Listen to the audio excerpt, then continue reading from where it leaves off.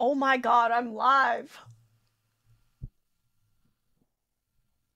Can you guys hear me? Oh shit! We'll give it a second. I don't know what the quality is gonna be like, so just give it a hot minute. Um, I should probably figure out how to add music. I don't know how to do that. I definitely don't know how to do that.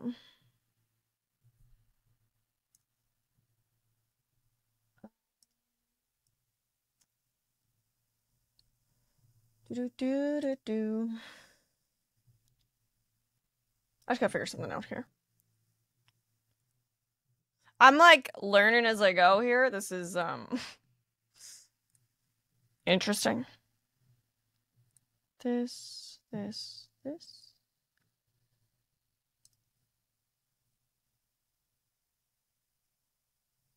Okay. Did that not? What? Yes.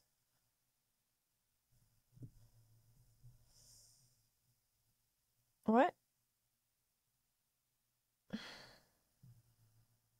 Hello? Okay, I can't see chat right now. Hold on. Chat? No, that's not it. I need to bring up like my Twitch chat, I think. Hi, Troy. Here to earn my 2000 kitty bucks. Nice. How is the recording? How is it on Twitch? I have no idea. I'm streaming from a different platform. Uh, it's a podcasting platform. So it's a little bit different. Um, says I need to close other tabs. Okay, hold on a second. I don't have other tabs open, bitch. It's okay-ish, not as good as Source. Hi, Chloe, how are you? But like, uh, let's see, quality. What if you put it at 1080? Did you try putting it at 1080? Like, I can change mine. It's kind of jumpy, but audio sounds good. I did? Oh, why is it jumpy, I wonder? Let's see. Let me just check my perform oh, performance tab on my streaming PC. I mean, it seems okay. I think. I don't know. Producer has Riverside open in other tabs. Ask producer. What? Why would I have to? Okay, that might be the reason why then. Okay. I don't understand. I thought I was able to join. Kyle, are you still there? It only shows I have one person now. Did you leave the lobby? You guys, we're having a podcast with Kyle today. Oh, what? It doesn't. Okay, so we are streaming on Twitch right now. It says waiting for host. People. Oh, I see. I see you in the lobby now. Okay. So you're in the lobby. Now, why can't I I don't understand why I can't add the producer like I thought. That's fucking weird. I'm gonna try it one more time. Hold on. Producer. Copy. Plop it in my messenger just to see, because I like being able to see my feed here. But I might have to do it a different way. I don't know. Make sure I don't have any other browsers open, just this one.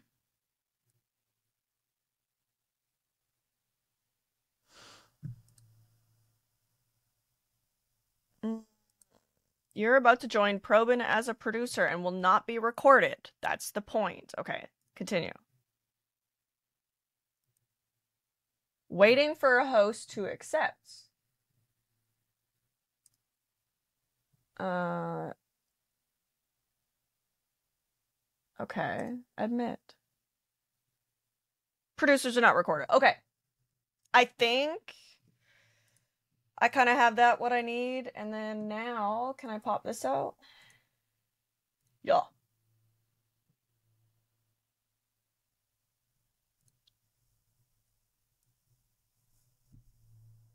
So now I can look at my Twitch chat and stuff over here. Okay. How we doing? How are we doing? What is up? Kyle is here with me. We're going to add him. So, I'm starting a new podcast. I'm trying, anyways. I really wanted to talk to other creators um because sometimes I feel like being a content creator sometimes is lonely as weird as that sounds. Like of course we're surrounded by amazing people all the time, but like not everybody considers themselves a content creator or a full-time content creator. So I just want to talk to other creators, big and small, about what inspires them, you know, like what made them want to start, like really just their own creative journey. And i think that's a really cool way to connect with people. And i feel like that'll be a fun topic to share. Uh, hopefully we can talk about fun things have some laughs along the way. That would be great. That would be great hi ninjet how are you can you hear me okay like what does it sound like kyle what does it sound like does it sound okay now I think I had something messed up. That little meme photo I posed in the Guardians this morning may have got me banned for three days from Facebook and Messenger. It's really the only thing I shared anywhere. Tokyo, that's kind of crazy. Yeah, sure. What does that mean? Yeah, sure, it sounds good. Or it sounds like trash. Hopefully the recording is fine. I don't know. Okay. So let's bring Kyle in.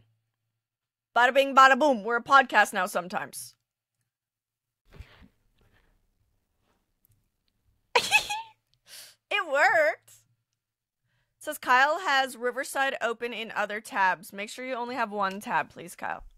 Sorry about that. I don't. It's just this one. I do notice it stretched the resolution a little bit on on uh it's stretched. Twitch. Yeah, like see how it's all shrunken now.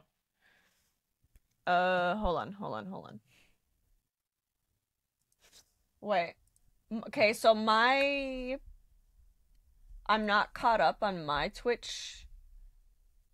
Like my mon my um thing is lagging.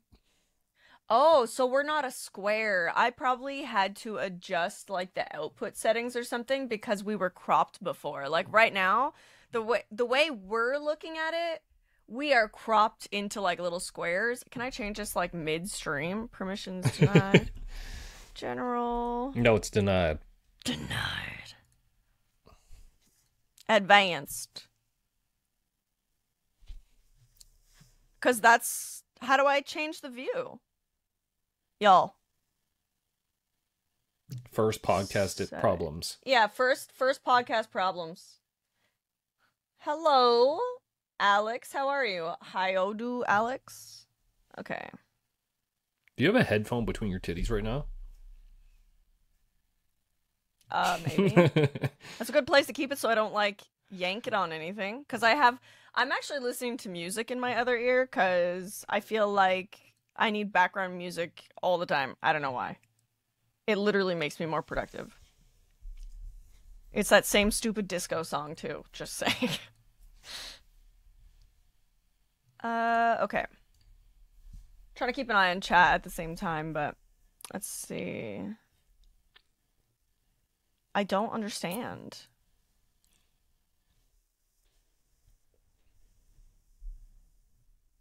Okay, so I think for the live stream, I think we're kind of stuck with this, to be honest, because. Hmm. I feel like I don't have the option to change the way it looks. I thought I would, but Maybe maybe you have to do it prior to going live. Also? Maybe recording overview. I mean, it's oh. fine for now. It is fine for now. Absolutely. Can I like?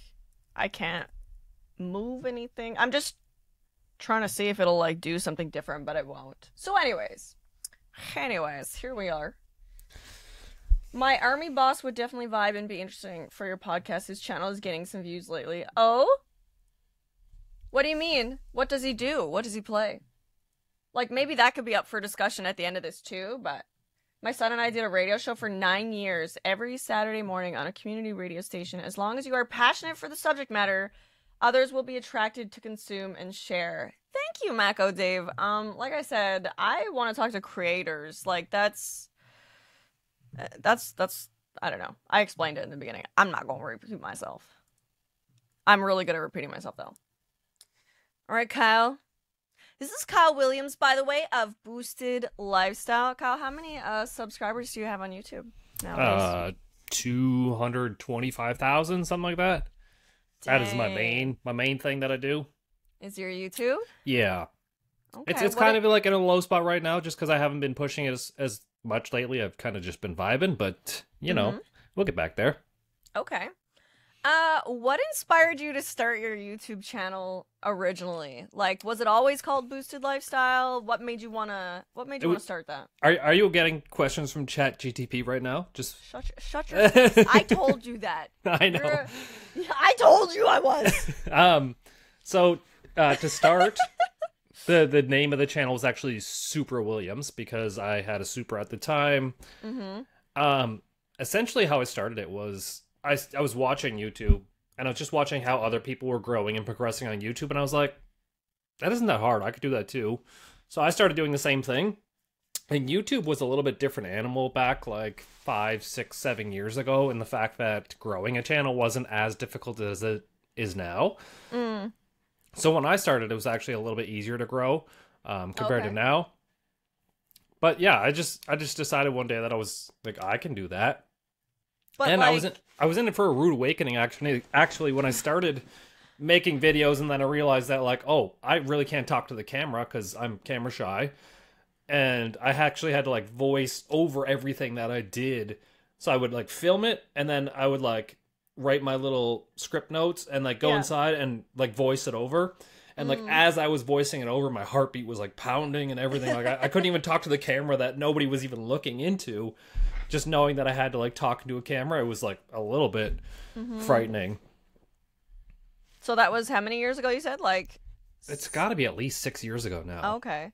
So comparatively, I guess six years ago, not even being able to voice over um, something you pre-filmed in your own garage to Yeah. going to like obviously I get to experience this with you now, but I Kyle would literally whip out a camera anywhere and like talk into it as if he was talking to somebody. Uh, like no shame at all, just saying. Mm. So I feel like that in itself, like to be able to reach that point must be so freeing because you don't like you probably literally don't care and i know there are creators that are literally in a chokehold for public filming do you know what i mean Yeah, well, and then like growing up, I just wasn't a social person, so I didn't know how to like talk to people or hold a conversation or anything. And and even to mm. this day, I still struggle with that. Like, I know mentally when someone asks me something, I should be like, "Oh, I should ask you something back," but instead, I'm just like, "Yeah, cool, that's what I do." so I, I'm I'm still really bad at conversations, but the mm. the whole creating a YouTube thing and getting over that struggle kind of segued into me being a little bit more social and better talking to people.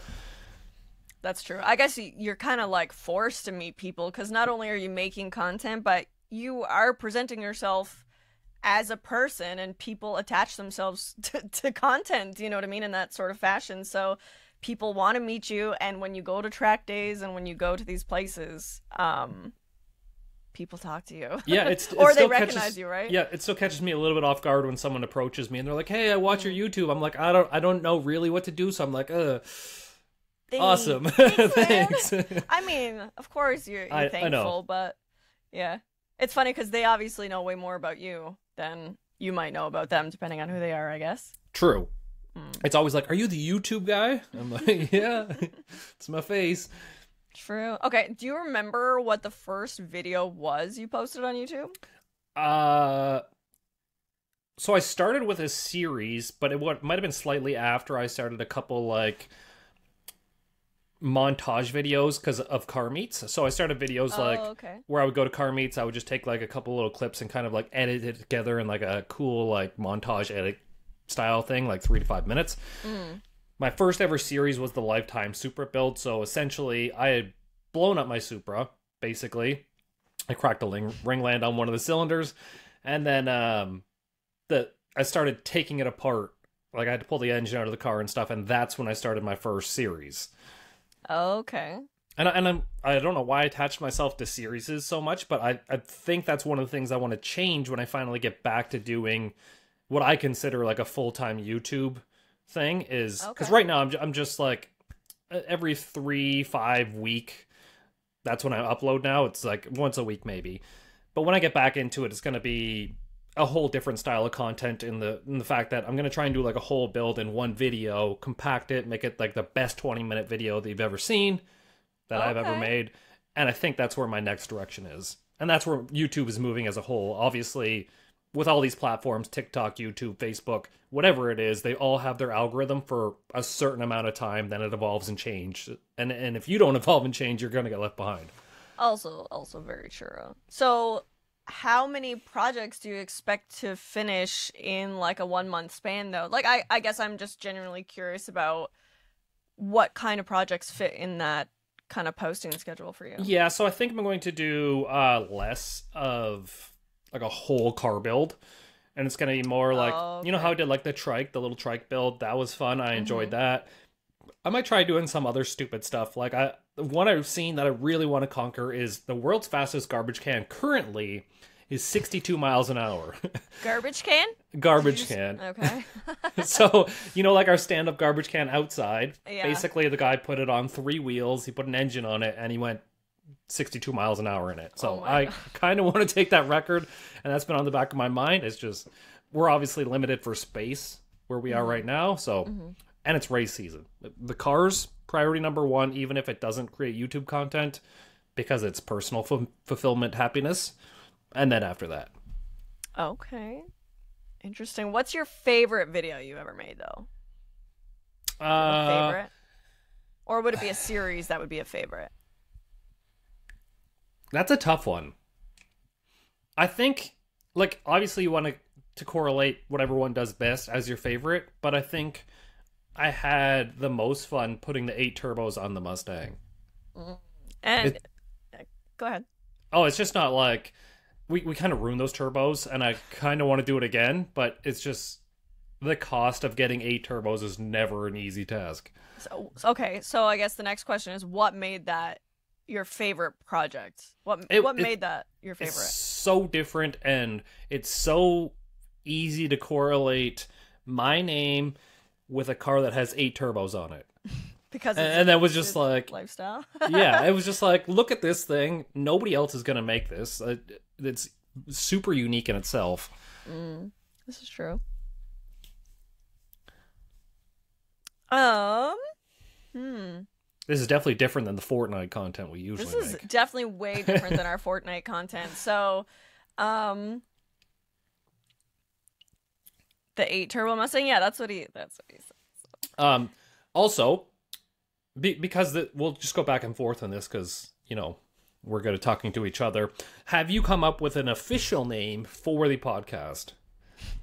Well, this podcast is supposed to be about me asking you questions.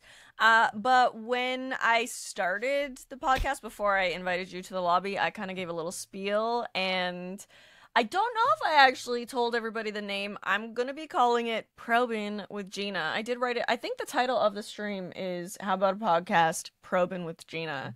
Um, and the noti was Probing with Geena and Kyle. So, um, I'm pretty sure, I'm 99% sure I'm going to be calling this thing Probin, which is because I was looking for um, uh, basically a synonym for interview.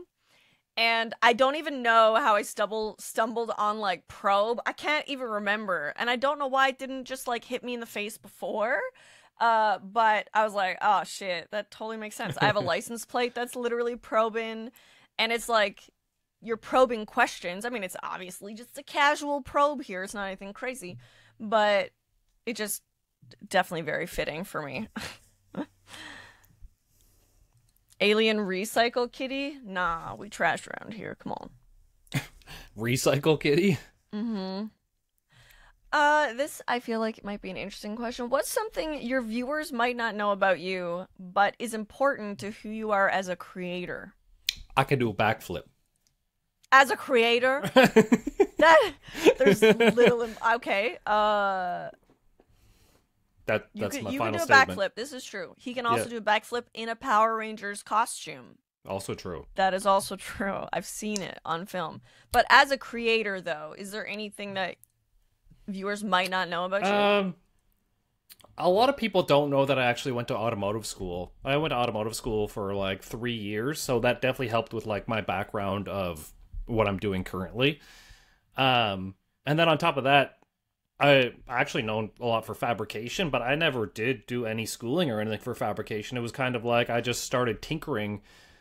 Uh, That's what I'm best at is just well, that's what I feel like I'm best at is just going out and tinkering and doing stuff. So Mhm. my method of learning how to do something is just I have to do it in order to learn. I'm really bad at like watching a YouTube video and learning how to do something that way. I have to Sure. physically like touch something, mess it up, screw it up in some way, fail at it in order to learn that way. So which is kind of weird. But yeah, a lot of people don't know that I actually went to automotive school and then a lot of people don't know that I didn't do any sort of fabrication schooling. Oh, okay. So basically, the thing, what were we doing the other day though? Like, even though, excuse me, a little bit of cock in my throat. Uh, but um, even though you don't have the actual certification and your technical training is minimal, I do find that you are very mechanically inclined otherwise. You know what I mean? Like, um, is there a disappointment or failure? I, I only want to talk about this part briefly and then we'll talk about the opposite of that. But, like, is there a disappointment or failure in something creative that you've done that was like a turning point for you? Um, I don't know specifically something that kind of like I failed at it and it benefited me in some way. Like I don't know anything specific like that. Okay. Um, yeah, I, I don't know how to answer that question wholeheartedly. Okay. And I feel like that's, I guess, maybe you don't perceive any of it as failing and just learning. That's okay too. You know what I mean? That's because technically the 8 turbo, if you look at it this way, technically the 8 turbo Mustang didn't actually work well. Correct? It didn't. No, yeah. So there's definitely things that I like learn and you can make a twist on it and figure out why it didn't work. Mhm, mhm. Um, like for- learn something from it for sure. Yeah, so for example, the eight turbos, we learned that like when you put that many turbos on a car, sometimes the pressure from one turbo actually wants to go out the other turbo, and then it doesn't work so well. So So, do you think if you had put like check valves, this is like a technical question, I suppose, but do you think if you do it again, you'll like add check valves or put in those preventative measures to prevent those little things I don't think noticed? per se I would have put in check valves, but I think we were out of the efficiency range of that specific turbo. oh, I um, see. And it was like yeah, so it just- Yeah, it would just blow out the other turbos. I see. Okay, interesting. Okay, so on the flip side of that, does that mean that the eight turbo is like your favorite accomplishment, or what is your favorite accomplishment? Not a project, but as a creator, I guess could be title, status, um, a Hmm. Well, moment, an event. As I'm looking up, like I I can't avoid the hundred thousand subscriber plaque because that is like Mm, true. as as this little tiny piece of like cardboard thing that probably cost him a dollar fifty to make. Like it had has so much meaning behind it because of, of the effort to get there. Um, and and like, I don't want to downside. Like I want. How am I going to phrase this? We're we're in like far north Canada, so the ability to uh, make content and collaborate and do whatever else on YouTube is actually very, very limited.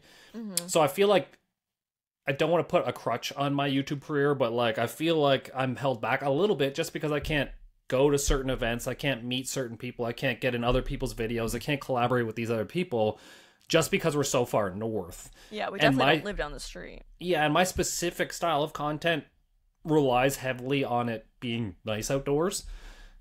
Um, and for half of the year we're actually indoors because it's winter time like Yeah, and you can't race cars in the winter here. Yeah. So. mhm. so there's a little bit of a crutch like in my youtube career but the fact that i've overcome a lot of that and i still got the 100000 subscriber plaque is it's really meaningful to me so that alone makes it all worth it really Do you feel like once you smashed through that milestone, because I feel like it took, I think we were together for a few years before you hit the hundred thousand, right? yeah I think. And then once you hit a hundred thousand, though, you're like you said, you're almost at, you're nearing three hundred thousand now, right? And I feel like Well, that was to- such a fractional amount of time compared to to yeah get to a hundred thousand. it definitely escalates a little bit more. I'm at like 225 now, so I've like doubled it. But Mm. it it like the whole algorithm change is, and especially with the, the inclusion of shorts on YouTube, Right. the whole algorithm change is now catered to the specific piece of content that you put out and not um who you are basically. Okay. So, so because what you mean. yeah, because the algorithm works for the specific piece of content and it doesn't just show all your subscribers your piece of content anyways, like the fact that you have 225,000 subscribers and most of them have notifications turned on, YouTube will not send a lot of those people notifications if the video isn't relevant to them. Really? That Yeah. I didn't know. Is Yeah, that so- like something somebody has proven though, or is this Yeah, just? it's it's definitely like out there in the algorithm space. Oh, okay. Yeah, so not- like for example, if you upload a video, um, sometimes look at the notification like two or three days later, just because the algorithm tries to push it then. Interesting. Yeah, it's it's it's definitely gotten a little bit weird, and that's why the switch from like daily vlogging, uh, those videos don't do as well. But the 20 minute video of a whole project coming together from beginning to end and the watch time for that 20 minutes, that is really specific to the YouTube algorithm now. Okay, interesting. Yeah. I just didn't know if there was like a, you know what I mean? You do kind of one style of content and you stick to that, and that's what your people do. But like me, when I go to YouTube, unless I'm specifically searching for something, I don't watch long form videos on YouTube unless it's like a 49 minute remix of disco tracks that I'm obsessed with right now. Uh, you know what I mean? But But then the on the is flip there side of not that, there's other forms of content that still exist and flow through like just a different channel of the algorithm? Do you know what I mean? Um, well, like just from my point of view and watching uh, channels that I've seen and the subscribers that they have, and like I, I kind of keep a loose idea of the views that the channel gets on specific content. Okay. It seems like the vloggy style content is actually dropping off some. So if people Oh. had a hundred thousand views per video for the last three months or whatever, it's actually tapering down to like 90, 80, 70,000 per view, like Oh, okay. video now. And then they're really pushing all this content that is like long form video in a short term video put up, basically. So basically more condensed, I suppose, like more condensed information and like Yeah. a, literally a beginning and an end with a purpose, not just Yeah, so you know how like uh Mark Rober, for example, makes his videos. No, I have no idea who that is. Oh, okay. He he was like an ex uh he's like an engineer, ex NASA employee, like huge on the internet. I'm sure if you've seen his face you probably understand some of his videos. Maybe I have no idea. I don't know, um, okay. So speaking of collabs, who Mhm. if you could collab with anybody, who would it be Uh and okay, why? Though, so um specifically in the automotive world there's probably like a hierarchy of uh content creators. Um Cleetus McFarland being the obvious top one in the automotive world. okay, Um, so I actually met him down when we were down there on sick week. Um, he owns the Freedom Factory, which is like a racetrack down in Bradenton, Florida. okay, Um, I would love to do something with them, uh, be in one of his races or whatever, but that that's a whole other step away. And then um, a couple other ones that I do know of that, like I contact on a regular basis, just we're so far away. Um, Evan Shanks is down in Texas. I would love to do something with him. Um, and then Motion Auto TV is also down in like Colorado, and it'd be cool to meet up with them too. So is there like different projects you'd want to do with them, or is it Oh, all kind of in the same line, or what? Oh, sorry. And Zip Ties and Bias Plies. Mr. What about Dee Pegleg. Dee's Speed Shop? and I, Dee Dee's I want to go see Dan and Danny. So, I, I didn't even think about local, but like technically, Zip Ties and Bias Plies is probably the closest one to us, even though it's like a eight nine I, hour trip. I know, but I preface my question with like anybody, implying that like if you could literally pluck anybody from a list, big or small, like Okay, or yeah, well, or whatever. Cleetus being the top of that list only because his content specifically relates to my content. It's like racing and modifying cars and stuff. And Okay. then to be a dickhead, uh, I'd like to go see Peg as it Ties by Bias Plies, which we should go do that sometime soon. And We then I'd love, anyways. I'd love to see Dan and Danny at DD Speed Shop. Me too. I really would. Um, I'm really also good at like losing a question, even though I had one in my head. That's okay. uh, yeah. The- and I'm sure as the podcast roll along, it's going to become more natural and less like stiff and Yeah, absolutely. I mean, obviously, we want the questions to kind of flow into each other and just the responses to obviously come naturally and not forced. yeah. And and I know I understand that this is like a YouTube, well, so it's like a, a content creator back and forth. Um, but you feel free to like branch out into whatever. It doesn't. What do you You mean? don't have to. You don't have to specific target about my content career. You can branch out and talk about whatever. Like, cause we play Fortnite, we do whatever. oh, we play yeah, games. yeah. I was going to get there too, though. Yeah. I just like, okay, assuming that nobody in my chat knows who you are. Okay, yes, so. of, of course, yes. Somebody watching this video right now doesn't know who the fuck you are, so we're telling them. Okay, so your name is Kyle Williams. you started your YouTube channel with a Supra. Um, True. why why don't you talk about the progression of your channel actually, and where you like ultimately see it, or like where you see yourself being the happiest? I guess. So Um, start from the beginning and progress. Oh, we're starting from the beginning. Let's. Well, we started- you said Supra. Yeah, we started with the Supra. So we we started with the Supra, and I started modifying it slowly. Um, I've had some bad influences or good influences, I don't know, but we modified that Supra from being the awesome, reliable daily driver that it was, and put a giant turbo on it, put a cage in it, some big tires, and new suspension, and I ended up making this race car that was beautiful and gorgeous and fun to drive, but I really couldn't drive it on the street. It was more uh, dedicated to the track. Hmm. Um, and then the content kind of like tapered off because then I could only make so much content with the one specific vehicle. So I acquired that other Mustang, uh, the one that I ultimately crashed afterwards, um, to start my fabrication career. So I had a, a, a weird situation where um, I didn't know how to fabricate, so I sent my car to a shop. Um, I'm not saying anything bad about the shop because it was definitely an ex-employee and stuff, but like I just felt like it was really hard to get fabrication work done on my car. So it was like months Okay. and months and months, and it was like not getting work done, and uh, I just got frustrated that I had to bring my car eight hours out of town, and then the fabrication work didn't get done on it. So I was like, I'm just gonna learn how to do this myself, so then I don't ever have to deal with this again Okay. but I didn't want to start fabricating on my own car because it was beautiful and gorgeous. So I bought another car, which is where the budget turbo LS build started coming into play, which is the second series on my channel.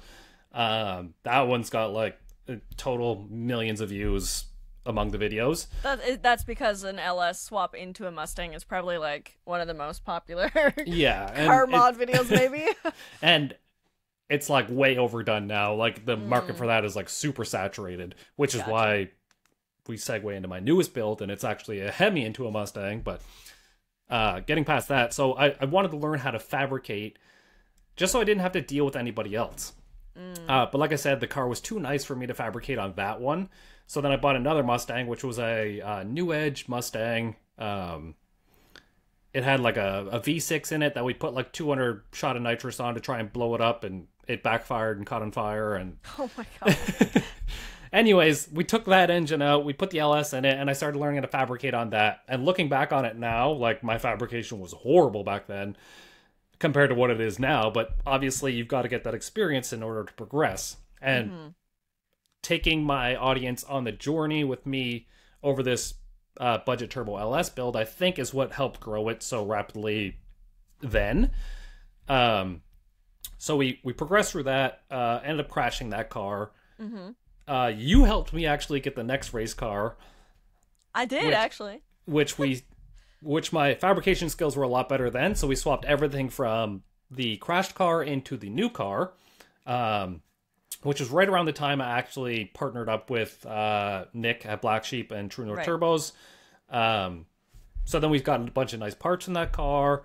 Uh, that car actually went really fast. It actually went way faster than I've made it go with this new engine that I put in it. um, and uh, basically, the content from here on out has just been racing, but I feel like you got to do stupid stuff in order for the channel to grow. So, up to that point, it was just basically all racing and fabrication.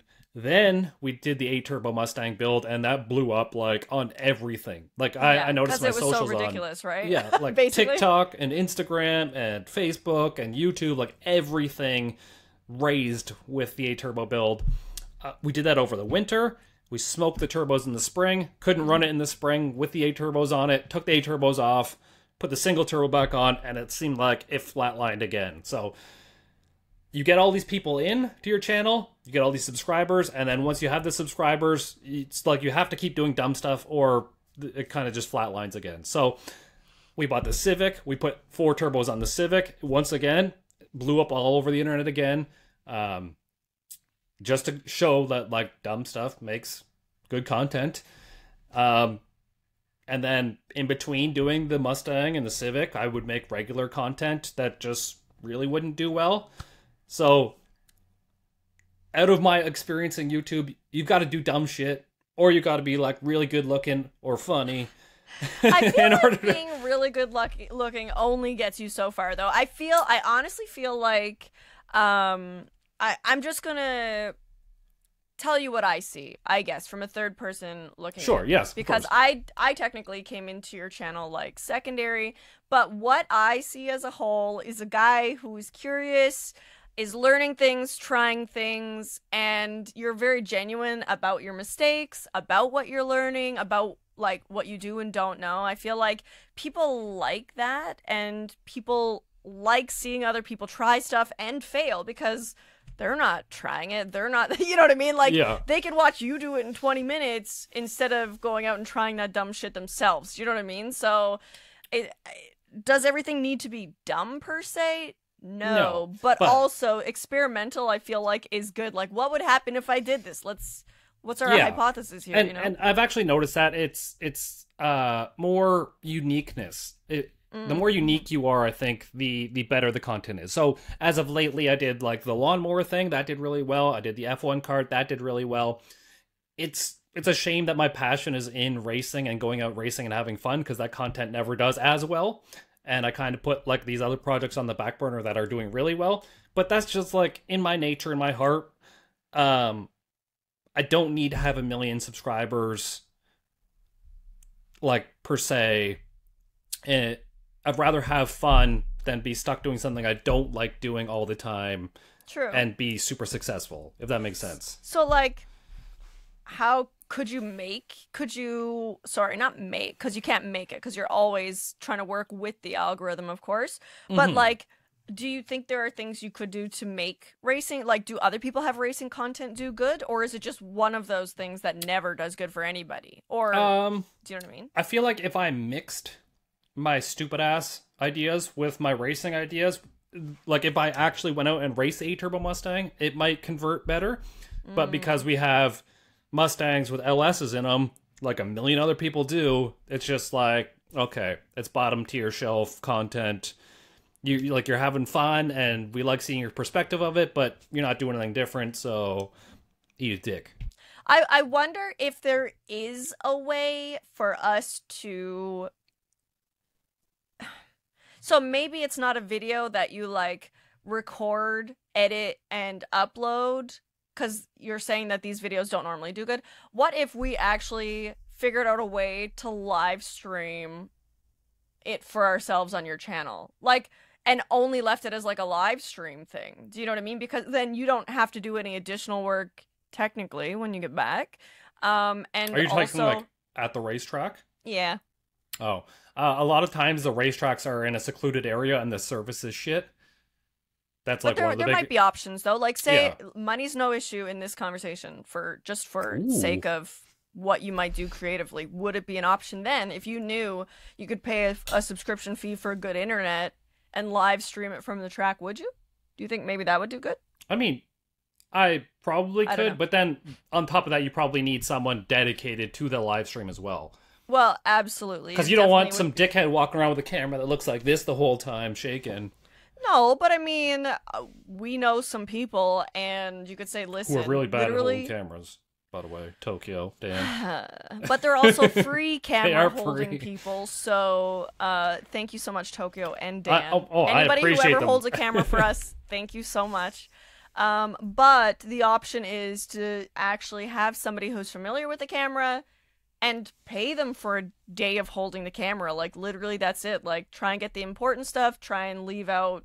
You know what I mean? Like obviously, there's True. aspects of privacy and discretion, but um. That what I also mean? might be something like I should look into for myself. Actually, like speaking of taking the load the off garage? myself, but like maybe not even the filming part in the garage, but the editing part of it. Because how you put something together, I'm just not good at like self-directing. If that makes any sense, like putting an edit together. Like you know, when Remy edited your videos, they looked a lot better than when I edited your videos. It's that might help retain audience better, which also might help you boost in the YouTube algorithm. If that makes sense. Mm. I I mean I I personally do feel like cuz editing is not my strong point. I literally it's like pulling teeth for me. Like I love having the final product and I want it to be edited well, but I don't want to be the one to do it because I am much better spending my time trying to create something else to be edited or whatever. You know what I mean? So True. I I definitely think it's it's worth the effort. You would just have to the thing for me that I find, and maybe you can speak to that, we kind of talked about like just hiring an editor, like just find one because they're everywhere. But I feel like if you can't, if if what you're asking for doesn't fully connect with them and they give you something that you kind of hate, like I, I'm True. afraid of that. I think There, Do there's you know got to be mean? definitely like a, a collaboration between you and your editor for sure. yeah. And the right person's out there. And I, I it's funny because I literally just had this conversation with Nick. Nick is my partner in True North Turbos and Black Sheep Industries, where I was like, Nick, you could like you're a singular person running this company because like I'm just like the marketing guy or whatever, and Nick does like all the sales and and whatever. Mm-hmm. I was like, Nick, you're a singular guy. There's only so many hours in the day, and only so far you can take. Like, you can only grow the business as big as you are physically yourself. You have to have another person in You order to double what you're doing. Your own abilities. yeah, right? exactly. And I think I might be stuck in that kind of like limbo thing where like the YouTube channel can only be taken as far as my singular abilities is, um, without adding like an additional person. So like an editor, I think would be a good one to find. It also might be good to find like an apprentice person. Like if we lived in an area where we had someone looking to get into YouTube and they just wanted to be like, "Hey, I'm gonna come learn from you." That that'd be something I'd be interested in too. Or even Mm, hiring like an like extra a set of hands, basically. yeah, or even like hiring an extra set of hands might be a smart thing to do. Somebody who who's willing to learn to fabricate or build stupid shit or like just interested in, in becoming a YouTuber themselves. Oh, uh, I wasn't really gonna engage with chat, but I do see that Dan is here. Hello, Dan from DD Speed Shop. DD Speed Shop!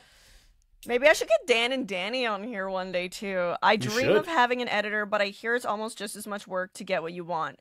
Well, the thing for me is I kind of stumbled on an editor through another streamer that I watch. Kyle's like, "Oh, Hippie's editor is so good. You should just ask him who it is. Like, just ask him." So mm-hmm. I asked Hippie, and he told me right away. And he's like, "Yeah, reach out to him and see if he's taking work." So I did work with him for like three or four weeks, and it was amazing. Like, I've had an I had another editor, and he was great too.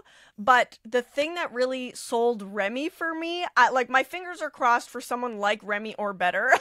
but like he basically took it on himself to go through the clips on my channel that myself or chat had made made me like three to five clips a week and then i would just give him a video like my body paints video and we kind of discussed and I showed him previous examples and it was very communicative and I basically got what I want every time and I was so happy cuz I wasn't having to do it. It cost me money like it was definitely a pretty penny, but it was worth it for me in time like my time. I don't have to struggle with this. I can give it to somebody who it's their strong suit. You know what I mean? Like why not pay them for that? That's that's kind of my opinion. I should do the same thing for my laundry, but you know, it's not Yeah, my Dan- strong suit. Dan and either. Danny are the ones who are like, yeah, we just have someone else do our laundry. Yeah. so we need to find a person like that as well.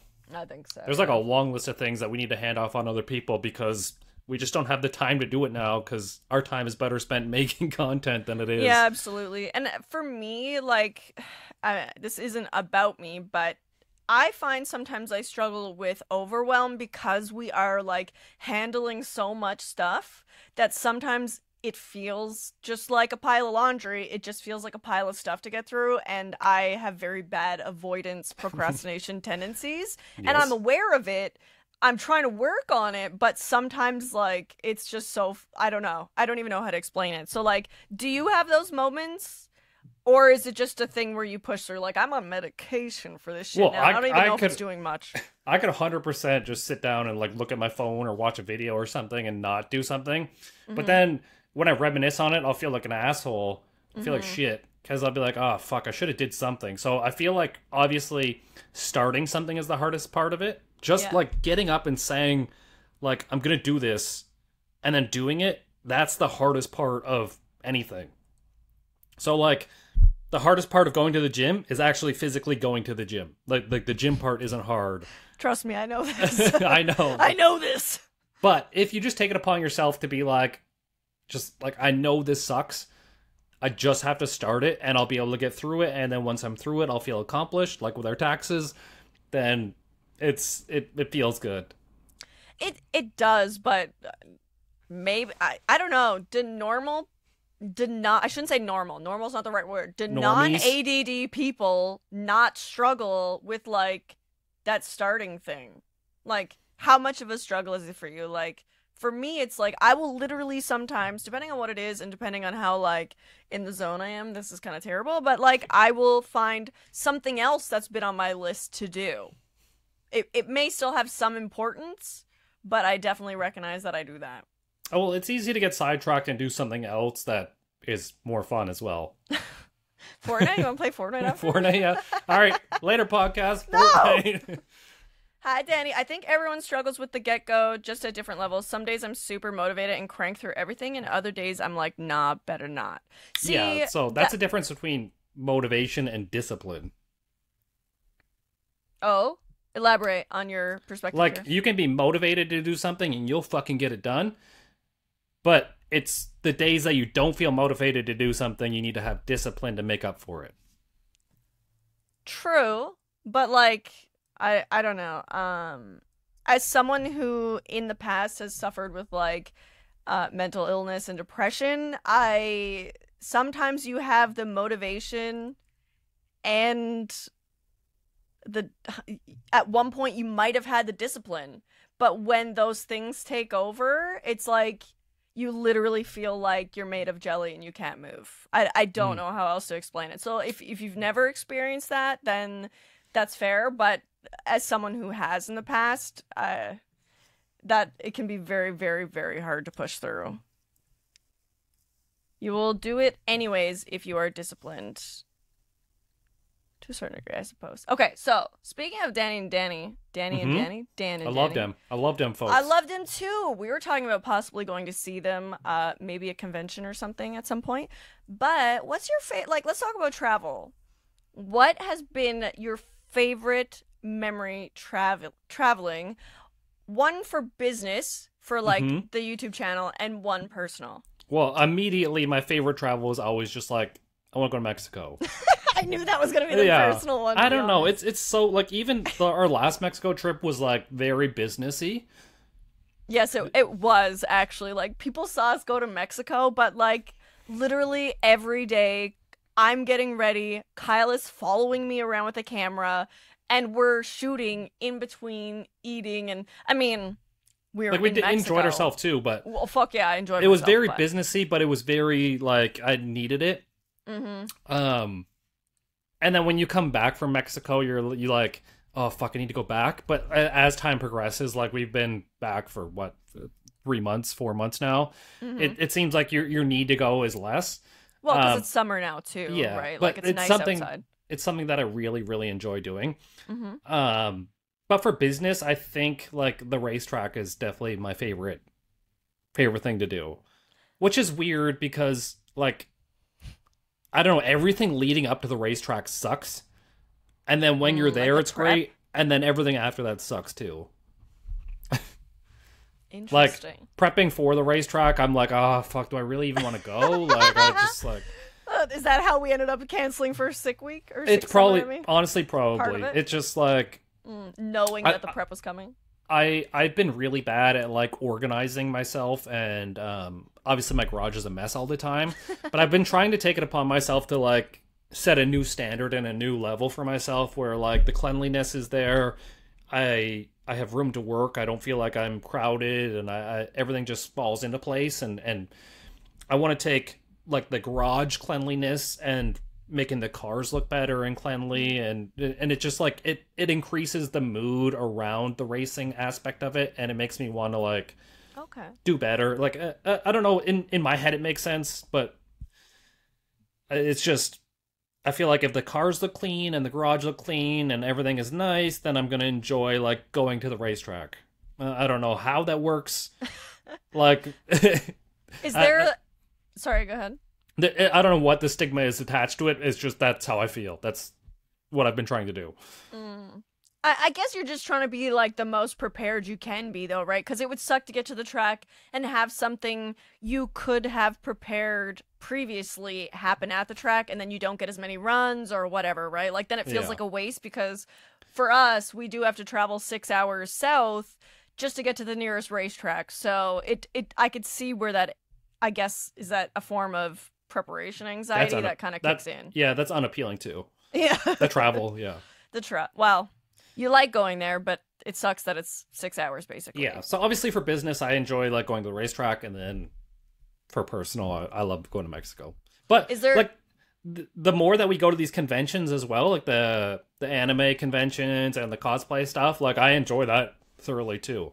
hmm We have so much. When we go to conventions, we're like, uh, it's. I'm a little obsessive over um, Dragon Ball and Naruto, but meeting people, seeing all the cosplays, hanging out, like we eat good food, and I, it's it's literally one of the funnest things I think. Even Mhm. though it may not, it may not I guess, cause any progress, really, any measurable progress with my status or the level of content that I make, or, you know what I mean? It doesn't actually progress anything about my career besides the fact that I am meeting people, I'm, you know, having a great time. We have been, like, vlogging it, but it's not like it's a huge I thing gotta for edit us. that video too, actually. Yeah.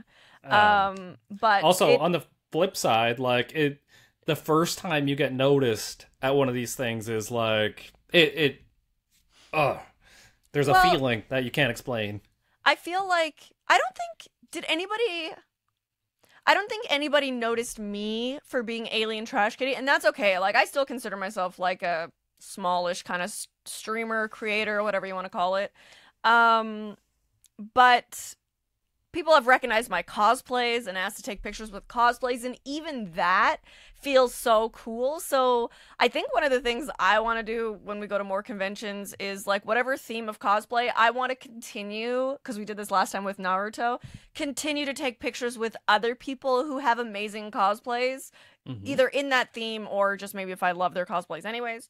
Because I feel like knowing that what that feeling gives me, I feel like they probably get the same feeling too, even though like they're just there because they just like to dress in cosplay. And I just think that's kind of a fun, you know what I mean? Like pass on a nice thing to somebody else too. and so. the cool cool thing about the conventions is there's like no judging going on either it's like everyone's there for the same thing and it's Yeah. it's, it's actually a, a nice change of pace It because it literally feels so like you you feel like you belong there. Do you know what I'm saying? it- it is really inviting it's nice Yeah.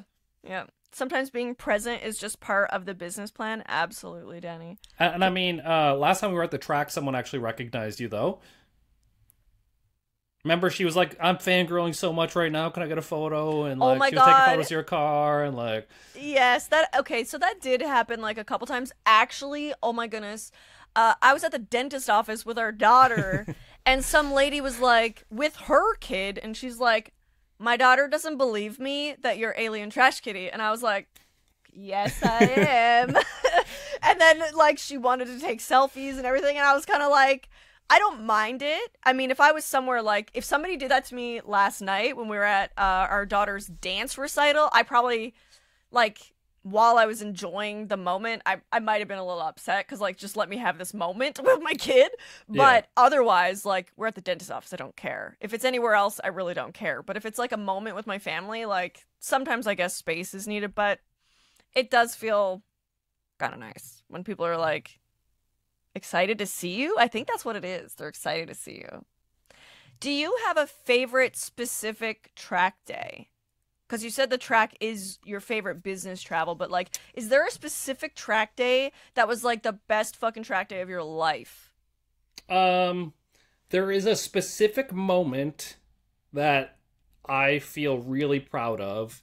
Mm-hmm. Um, Miles and Mayhem, day Okay. four, Okay. when I made my pass at Rimby, the fastest pass uh, of the day, and the cylinder heads decided that the valves didn't want to seat anymore, and we had to rip the heads off at the track. Mm-hmm. So, for anybody who doesn't know, Miles of Mayhem is basically a drag and drive event. And what a drag and drive event is, is you take your race car, there's five different tracks over five different days. Well, four different tracks, five different days. You start and end at the same place. You race uh, at the first track, and then you drive to the next track. And then the next day, you race at that track, and then you drive to the next track. And these tracks are like four or 500 kilometers in distance apart. On day four, uh, it was like uh, I had a fuck it moment. I was like, fuck it. If I brakes right here, I'm leaving the car here. Yeah, I was gonna say you literally like I was quoting you because you were like, "Well, fuck it, I'll turn it up. If I break it, I'll leave it and I'll just hop in the car with Geena." Yeah, so I ended up breaking it. Um, but it was a fixable break only because we had a bunch of people come together. So it And was a late network, basically. and a network. It was basically late in the evening. We had the engine half apart. We took the cylinder heads off the engine, sent them an hour out of town to get some new valves put in the heads, and it was midnight, I think, by the time we got the car put back together. And how far do we have to travel to the next track? It was at least like what three or four hours, maybe. Yeah, it was like 400 kilometers to the next track. We ended I up doing so, half the half the journey, I think, that night, and then stayed at a random hotel and did the rest of the journey the next day. But managed to pull it off. Like, had the cylinder heads off, put them back on, drove the car the 400 kilometers, and I think that was the most like. I'll remember that one for a long time. Mm. Are there is there anything outside of the car let's let's talk outside of the car world. Is there anything outside of the car world that inspires you or um like prompts you to make changes or the way that you create your own content? I mean, I'm always following the YouTube algorithm on what it is. Um, but I don't want to try and make my car content anything other than car content, if that makes sense. Okay. But there's definitely like the the way you uh build the content or uh distribute the content is definitely like there's definitely outside sources all the time taking whether it's Mr. Beast's videos or like somebody else's videos that you see do really well and you see the concept behind it and how they put it together and you kind of have like a structured timeline of how you should put your shit together and you kind of think about that all the time. So there's definitely outside sources affecting videos all the time, but I don't really want to specifically move away from car stuff. Okay, so like does does anybody outside of the car world inspire you sort of the same way that like Cleetus McFarland would? This is just a question because I'm just wondering like when you're watching this other content or whatever, are you Um, just consuming or do you use it as like a oh, you know what? Like this theory here I could somehow incorporate I've- or something. I think I've used it more to try and grow businesses outside of YouTube. So like one specific example would be Christian Guzman. So I've Okay. watched him for a really long time. He was like a fitness influencer to start, but he was also into cars and stuff. So I've watched him grow over the years where he started with like his little gym and then he had his clothing line and then um he kept upgrading his cars, making bigger gyms and stuff. So like watching it from my perspective, I'm like maybe I can do that sort of like have my channel have like this growing theme to it Mm, okay. which is what I would like to do. Um, I never really taken it into action, but that's just one of the outside sources of like inspiration to me was always looking back on how he did it and what he's doing. So he's actually the owner of Alpha Elite, and then he's with uh the girl who owns Buff Bunny.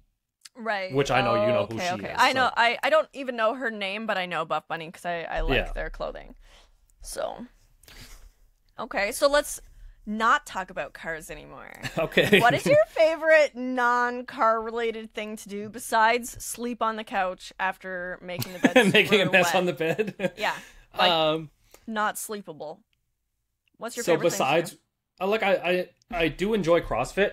yeah Um, uh, I haven't went in a while just because cars have like there's this consumment of cars when it comes to like getting things prepped and built and stuff. But I love doing CrossFit. Um, that's probably like my main thing I like doing outside of cars. Maybe, except for you, maybe. okay okay that's the main thing though like Yeah, I think so. fortnite cough I know. I love playing Fortnite too, but I feel like if I had to drop Fortnite right now, I could probably do that. oh really Yeah, if it be- Okay. if it came between like if you had to choose. Be- Sorry, there's a cat. Oh my god archie get down He's just hanging from the wall trying to do a pull up because he can't get up there now. oh my god what a dumbass okay, let me go get him for a second here. yeah, you stupid so ass. funny they're bad they'll jump up in that window and then they'll like jump on his pc he basically do you have to cover the button still or was that only on the old pc Uh, when I have my SD card reader in there, it covers the button. Oh okay i see Yeah, so uh, I could give up. Like, if I had to choose between Fortnite and CrossFit, I would probably pick CrossFit. To be Mm. honest, yeah. But we definitely are avid Fortnite players. Uh, and honestly, it's a good way to wind down. It's one of those things where like it makes you angry sometimes, but you still enjoy doing it. Like, there's definitely anger in Fortnite. yes basically It's was that f- meme where.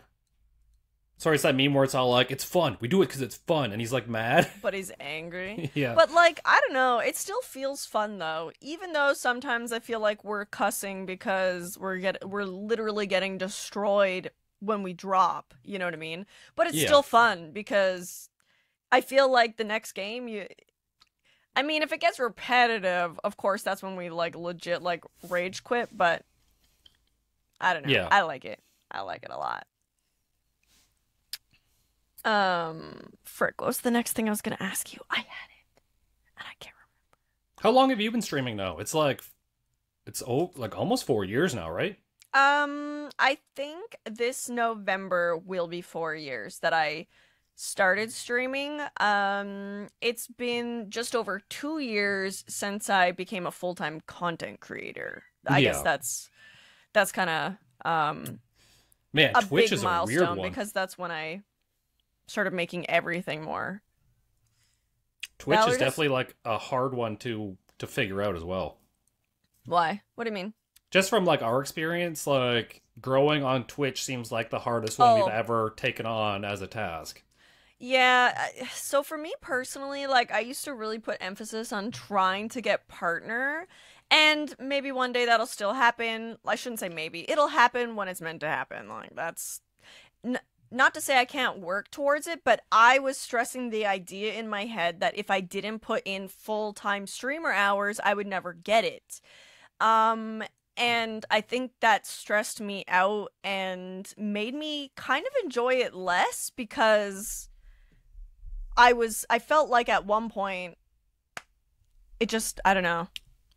It stressed me out. I don't know why it stressed me out. Yeah, I don't even know how to it's put one it of in those things where- but now I'm just like doing it more looser, doing it for my enjoyment, obviously for you guys too, and I want to give you guys good content, but like if I'm not enjoying it, you're probably not going to enjoy it either. So I want it to be quality time together, not necessarily quantity time together. You know? yeah, it's it, the follower thing is one of the things you just can't force either. It's no, it, yeah, Twitch is definitely um kind of a different beast because they don't have discoverability. They don't have like content what's the word like presentation i suppose the way like youtube and tiktok and all those other things like it's just yeah unless it's you're not there for discoverability. Yeah if you if, unless you're looking for it you're not going to find it. Mm-hmm. and i mean ev- i feel like everybody does the thing where it's like you could have a viral video and be like go follow all my socials or my twitch.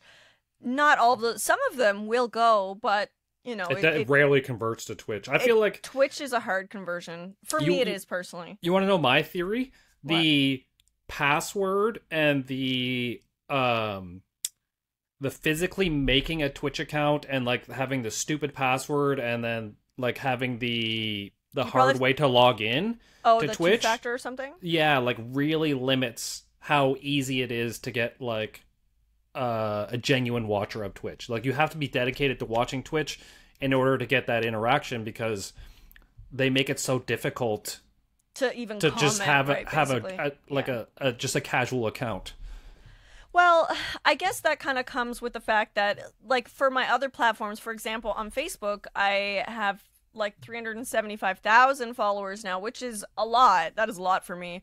Whereas comparatively, I only have 16,000 on Twitch, but a lot of the people on Facebook don't they just don't use Twitch. You know what I mean? Like either they're not mm-hmm. into video games or it's just not their thing and that's okay. But I don't know. Like I'm going to keep doing Twitch. Of course, yeah. But it's just I I'm not putting as much pressure and stress on myself to like force that milestone to come. I feel like the more I grow and the more I make content that I enjoy making and other people enjoy, that it'll just naturally grow and it might always be lower than my other socials. I don't know, but well, this is this seems like, like, a great it. way to collaborate in a roundabout way as well. and Twitch, that's like that's yeah. basically what I I wanted it for too. So, yeah. Do you guys? Oh, hold on a second. My god, Cora's calling me.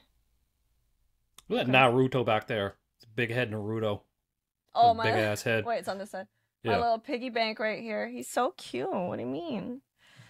Um, if you okay, this is totally a non-related to anything question. If you could Ooh. have dinner with anybody, dead or alive, who would it be, and why? What would you eat? Oh, that's a really weird question. Why is that weird? Like if you like, could meet I, somebody like just, and have just, dinner with them. I know, but now I have to think about like I only got one shot at this, so you don't want to fuck it up. But come on, I might ask you again next time, and then you can pick someone else. Yeah, but I don't know if I want to waste my one dinner on someone that I like fanboy over, or if I want to waste it on someone I would get like get some information, like mm. in insightful information out of. So you can't get insightful information out of somebody that you fanboy for? I like I could definitely, but okay.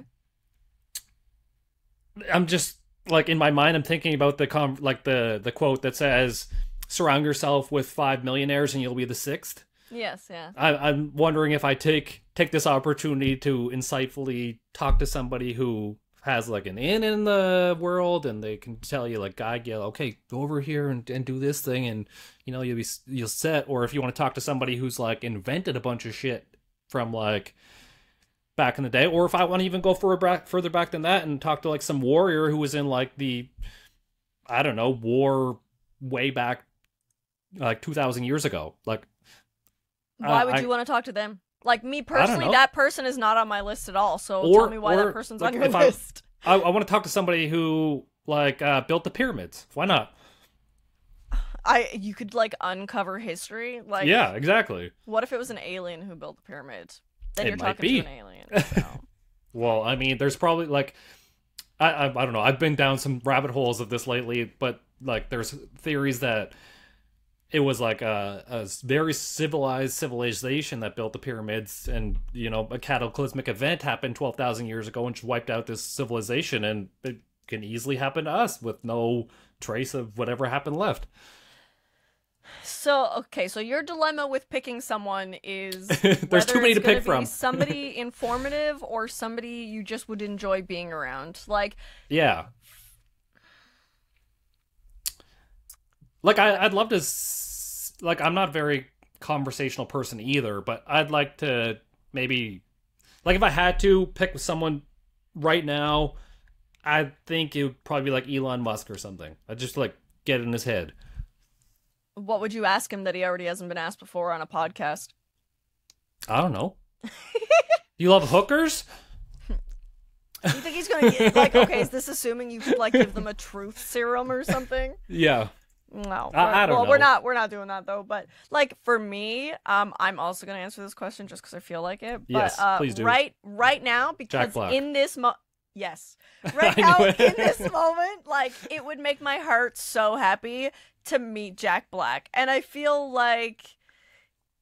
I will figure ev- anything else that I need to like progress in life will come to me. Wh- whether it's through a book or a person or something I watch on the internet, I don't know. Like I don't think some dead or alive person is going to tell me the exact secret that I need to know. So I would rather spend my time I think with somebody who like fills my heart. Do you know what I mean? Like Mhm. that and Jack Black assuming that it would be what you see is what you get type thing. I, I think Jack Black would be so amazing to me. And this is definitely like a different like because I know you, you know me.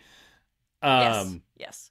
it's like a it's definitely a little bit different of a podcast but like because um i don't know where we are in the stage of like how successful we've been in the last recent times and we're like okay what do we do now like i i just i want some guidance on where do i go next But I, I still feel like that's an answer that doesn't come from somebody else. That's what I that's that's all I'm feeling. It will come to you, but may not be through necessarily One somebody giving you strict yeah. instructions. I Yeah. feel like it's something where like when I say it comes from someone or a book or whatever, some piece of information is going to click and you're going to know. That's what I mean. Not like okay, that's not Kyle how i learned though remember go up here and tell me your password to get into your banking account. Like that's not the instructions No. I mean. but I mean like I don't know. something will tr- you'll know. That's I don't know. That's all I got. you how do you know i'll know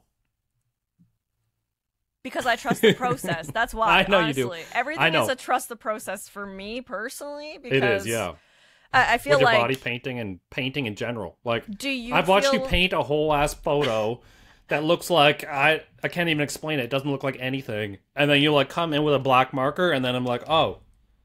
It was that last 3 seconds of work you did there that tied it all together."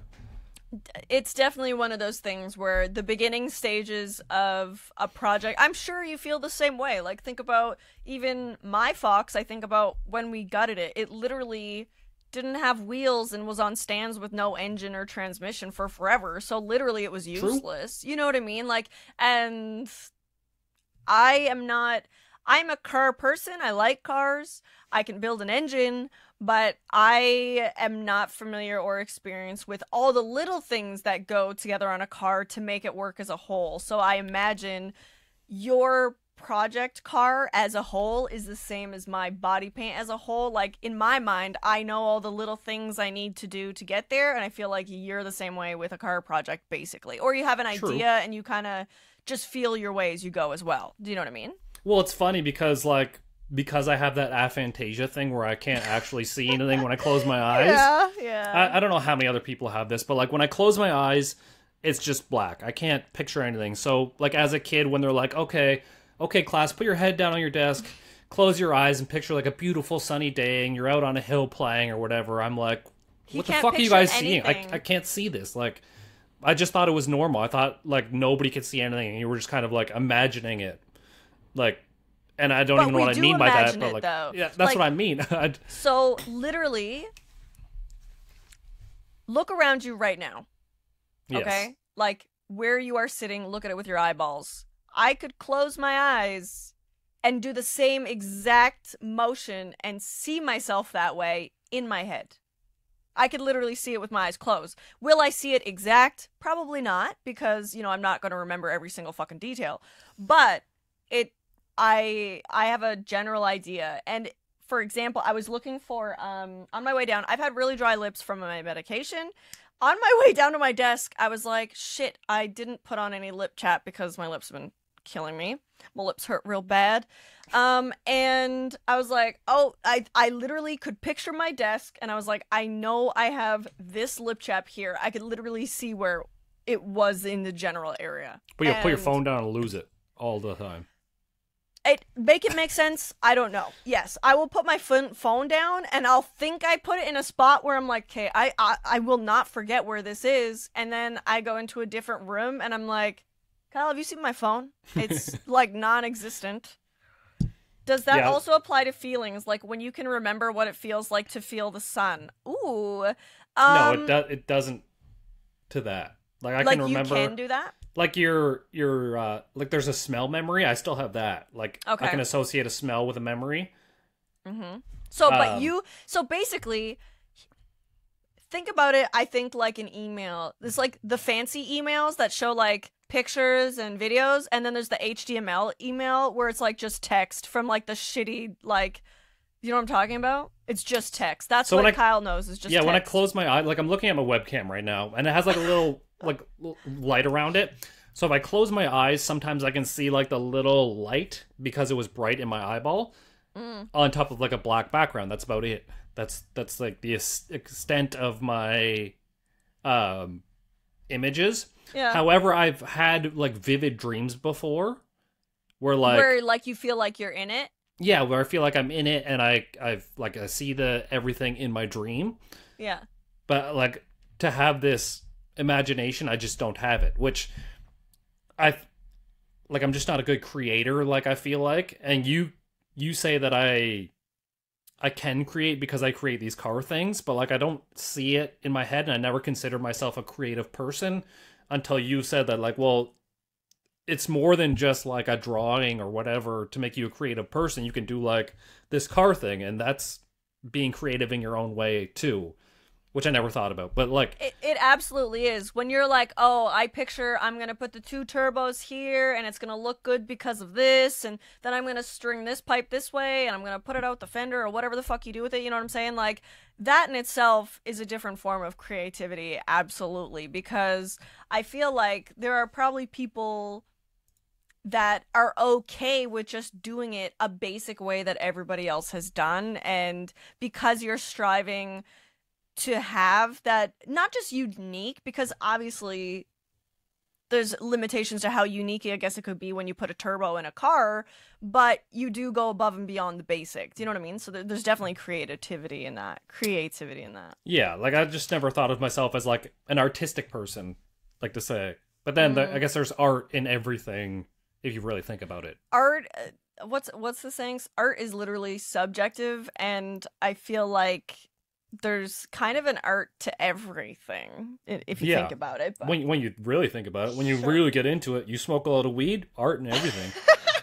art inspiration. Art you ever seen the back of a twenty dollar bill? everywhere. On weed. Okay, going back to Danny's questions about feelings though. Like, Oh. could you think about an orgasm and like remember how it felt?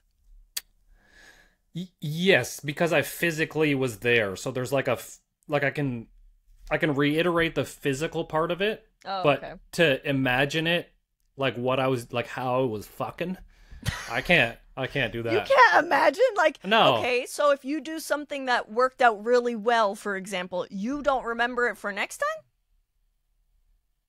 Uh, yeah, because I can remember the physical part of it. I can Oh. like I can remember that one plus one equal two. okay. So like but you just can't see it in your head. Yeah. That so if I like if I went upstairs and I tried funny. jerking off, but like close my eyes and picture like your ham sandwich there, I just couldn't do it. No, you'd probably have to draw like a couple of pictures, couple of lines. well, you know what's and then- crazy? I've seen your face every day for like four years. If I was told to like, like you stayed in the other room, if I was told to like close my eyes, imagine it, and then put it down on a piece of paper, I couldn't. I couldn't Really? get any dimensions right. I couldn't. You're not I gonna like you're not gonna get dimensions right. Like we're not talking down to a science, but you have like you don't even have a general. I couldn't like I couldn't tell you how your eyebrows are shaped. I just don't have that physical like like the the imagery in my head. Okay, but you could think about me and think about what? Like, you know, I have blue eyes and blue hair. Yeah, so it would just be blue hair and blue eyes on a stick woman. I see. I see. Hmm. If you could switch lives with anybody, who would it be? And why? Uh, it would. But do I get their memories or my memories? If uh, say you could do it for a day just to enjoy their life, assuming it's you. All right, then I'm switching with you so I can feel how good that dick is. That's actually a really good question because, like, last night I made demonic noises. Like, our bed was drenched. I don't even know what noises came out of my body, but, like, anyways. I, I, okay. I don't but- know. It it would definitely be a female just to understand the other side of it. It like which female I don't know. I think that like if I had a day to switch bodies with anybody, it would have to be a female Okay, so I could at least figure out. bodies, though. It could be like their life. Like, do you want to know what it's like being like Jack Black for a day? No, he's got a dick. I want to know what it feels like Ah, get oh, so in- like yeah. genuinely your curiosity comes from like the I I honestly think okay this is going to sound really fucking weird. I do not care because I don't care. I'm very open about my sexuality and the fact that like for me pleasure is a turn on. That's that's that's how I'm going to preface this. So basically, I imagine that it feels the same you just have a different genital. It like the goodness in the body still Nope, is gonna feel the same. Nope. You don't think so? Nope. Our orgasms are like five seconds, and I know you've had orgasms for like a minute. So you definitely don't want to be a man for a day because you're downgrading. But Not like uh. Okay. but on the flip side of that, not every dude can make like some girls don't finish. Ab- absolutely, absolutely. so, So, like sometimes you get the short end of the straw too. but okay. Also, some of those people who don't finish with their man, some of those unfortunately don't even know how to finish themselves. So like that's that's a whole other conversation about where people yeah. feel comfortable in their sexuality. I think for us, to be honest, okay, this is like totally sort of sidetracked from the base of what I want my podcast to be. I definitely don't want it to be a sex talk.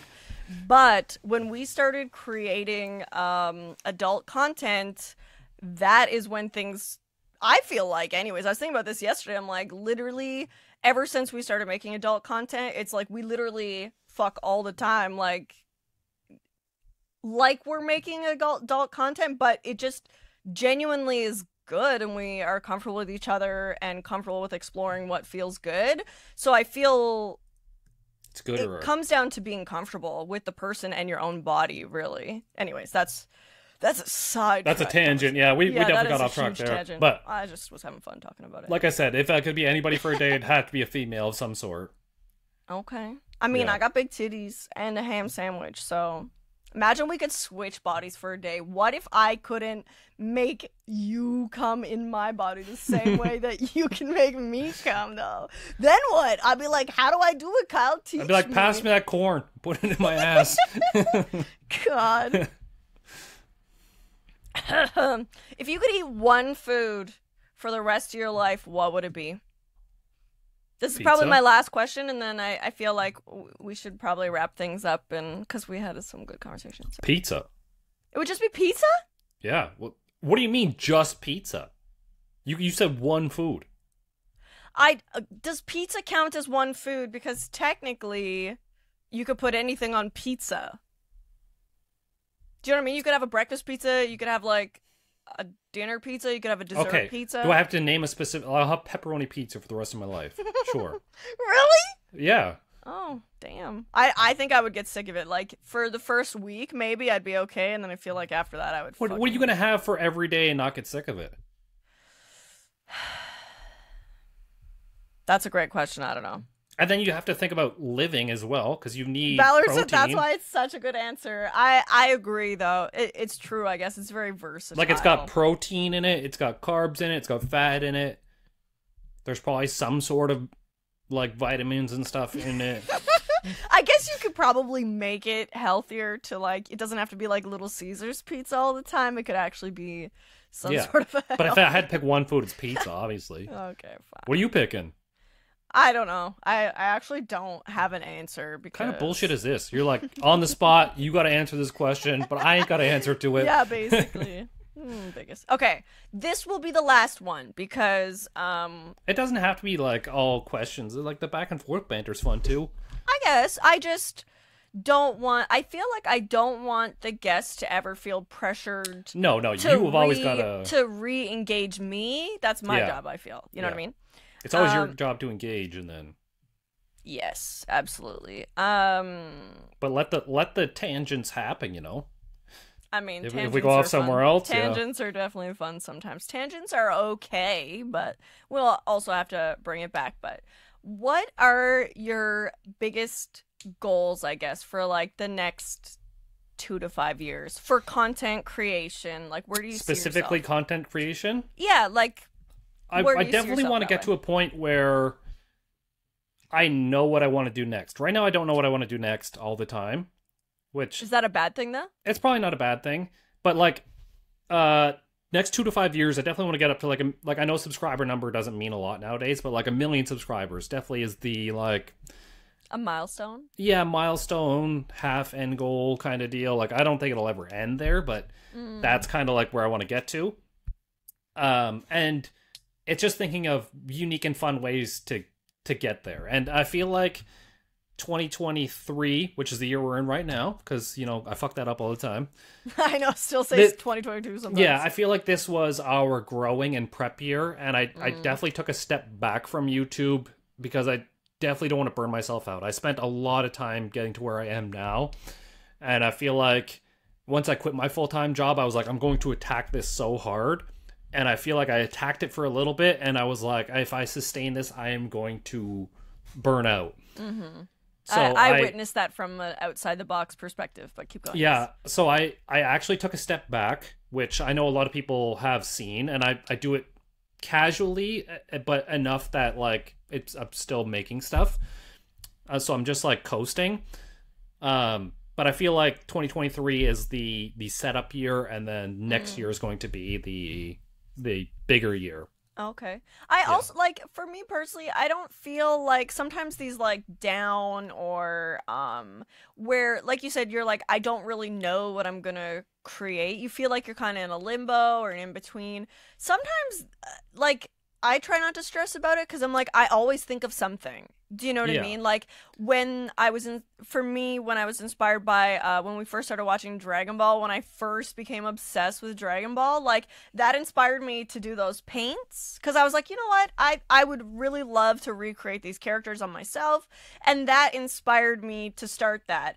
And now that I kind of have that under my belt, like I was inspired to do the Naruto ones and usually in the in between, I I usually have fun trying other things or dabbling in something and I I don't I've talked about it on stream a lot. We never talked about it in this podcast, but a lot of my creative history comes from literally trying things and failing because I was never actually technically trained in anything, whether it's well, besides mechanics, I suppose. Um, like my art, my cosplay, my body paint, um, photography. I took photography workshops a long time ago. They changed how I created, but it still wasn't technical training by any means. A lot of things that I did in my past and I created in my past kind of actually help me nowadays um, because, for example, the modeling or the cosplay or trying to make good presentable content came from trying to do that previously as a photographer or a boudoir photographer or you know what I mean like I've just kind of always had this sense and I feel like I'm always building on it and when I try these little things in between, like I really, um, Danny knows, I really want to work on um, controlling my voice better. I would love to do voice acting. I feel like even if it's just dabbling in between the things that really push me as a creator, I feel like they're still adding value to what I have under my belt type thing. Um, because I, as long as it's something within my creative circle or even a little bit on the outside, I'm, I'm growing as, as Yeah, a creator. course. You know what I mean? So And even if I'm not filming stuff, I'm always like constantly pushing myself to like learn new things and grow all the time. It's just Mhm. yeah, the the content is it'll come, it'll come. Ballard says, uh, I also feel like if you had a bigger space, it would be a lot easier. Would give you a lot more motivation if you had a space to work on multiple projects and be able to jump from one to the other to change things up and keep it fresh from day to day, instead of just having to pick one or two projects and being stuck with them. True. This is also true. Yeah, and then, and then the flip side of that is I actually like waste a day when I w- decide to work on something else. Like if it's not in the garage, I have Oh, to you have somehow to, like, get it in the it? garage. So I've Mm. got to shift it from one garage to the other. That'll come with time, and that is definitely like the direction we're heading in. Is that we're gonna have more space. Eventually, yeah. For sure. yeah, and it, I'm not stressed about it. I'm 32 years old. like I've got I I, I Aren't keep thinking like no, not yet. Oh.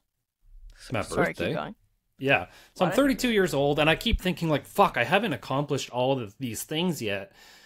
But then like the more you look into it, like people start their career at 35 sometimes. So like Yeah. the uh, I'm in no rush and if I want to do this for the long term, I can't burn myself out on the way there. So I definitely That- feel like enjoying it along the way is part of the goal. Do you know what I mean? Like, yeah. if you reach your goal but you were miserable getting there, like it are you even going to reach I don't know. Like I I would rather enjoy Yeah. my life along the way. And then one of the Um, hard things I've discovered also is like I, I always try and turn whatever I'm doing into content, and I need to Mm. like I need to stop doing that. So like when we stream late at night and play Fortnite, I'm like I like why am I not making this content? But then I have to realize that this is like my my cooldown phase where Mm. I I need to, to get away from making content, and that's what I enjoy doing. So I did stream for a while, and then like it, the upkeep of it, and just like okay, I got to do this, and then I got to stream later. It's just, I it was too many things. So, okay, let's talk about balance then cuz I find for me literally I can find a moment to take a photo or like I just always feel like I'm in that on like I'm always trying to think of even if I'm not actively creating I'm trying to like mentally bank ideas or write them down somewhere and even if they sit in a list I just always feel like my brain is like spinning for that and I don't like do you turn that off? How do you turn that off? Uh, like late at night when we play Fortnite. That's about it. Like yeah, but I'm throughout streaming. the that's, day- that's content for me though. I know it is for you. So in my line of work, like I'll wake up in the morning and because I have so many things, I make posts on like all the different social medias. That's like my morning routine. And then anytime throughout the day, I'm like, I'm always checking what I posted before, or I'm like trying to find something new to post, or I'm doing, trying to work on something to make something to post. Like it's always a, like, we got rid of the nine to five, but it seems like, okay, now we're working every hour of the day because it's always constantly like, okay, what can I do to grow? Because if you're not doing anything, then you don't grow at all. Mm-hmm. I, like, I that's that's where I struggle definitely is finding that line of like, okay, I genuinely need to give myself space because even sometimes I'll be like, okay, I'm gonna have a bath and I'm gonna read a book or I'm gonna listen to like a meditation or something.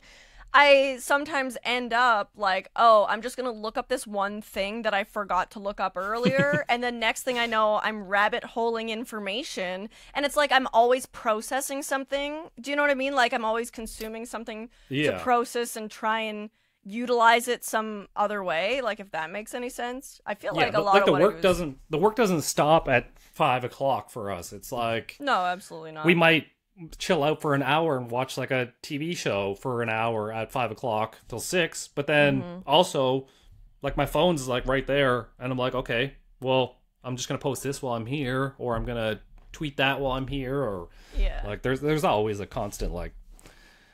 It's a different world for sure. definitely. And I, I'm I'm so thankful for the internet and that we have the opportunity to do this because Yes. not I everybody gets to do it. But everyone could do it is the thing. Well, To everyone extent. could do it, but it's not for everyone in the sense Correct. of like the way we enjoy it. I feel like the there are people who just love having a 9 to 5 or they've got a job that they love or you know what I mean like they just genuinely love what they're Dan at doing and the thought of having um a, a like being self-employed stresses them out and they don't they might not even True. enjoy It's it. hard to get past the the the comfort part of it. So like uh the the job security thing, like leaping off out of that is the hardest part. Mm-hmm. Yeah. I agree. I definitely think though, like it's human nature to be like curious and want to create something, and I feel like that's why um uh, I think talking to content creators, not just artists, do you know what I mean? Like, because I consider myself an artist, but I really want to reach out to different content creators because creating comes in so many different forms. Do you know what I mean? It sure So- does. Mm-hmm. And I love it. Me too. Well, is there okay? Um, do is there anybody in chat that wants to ask Kyle or myself? I guess at this point, a question. Um, I think.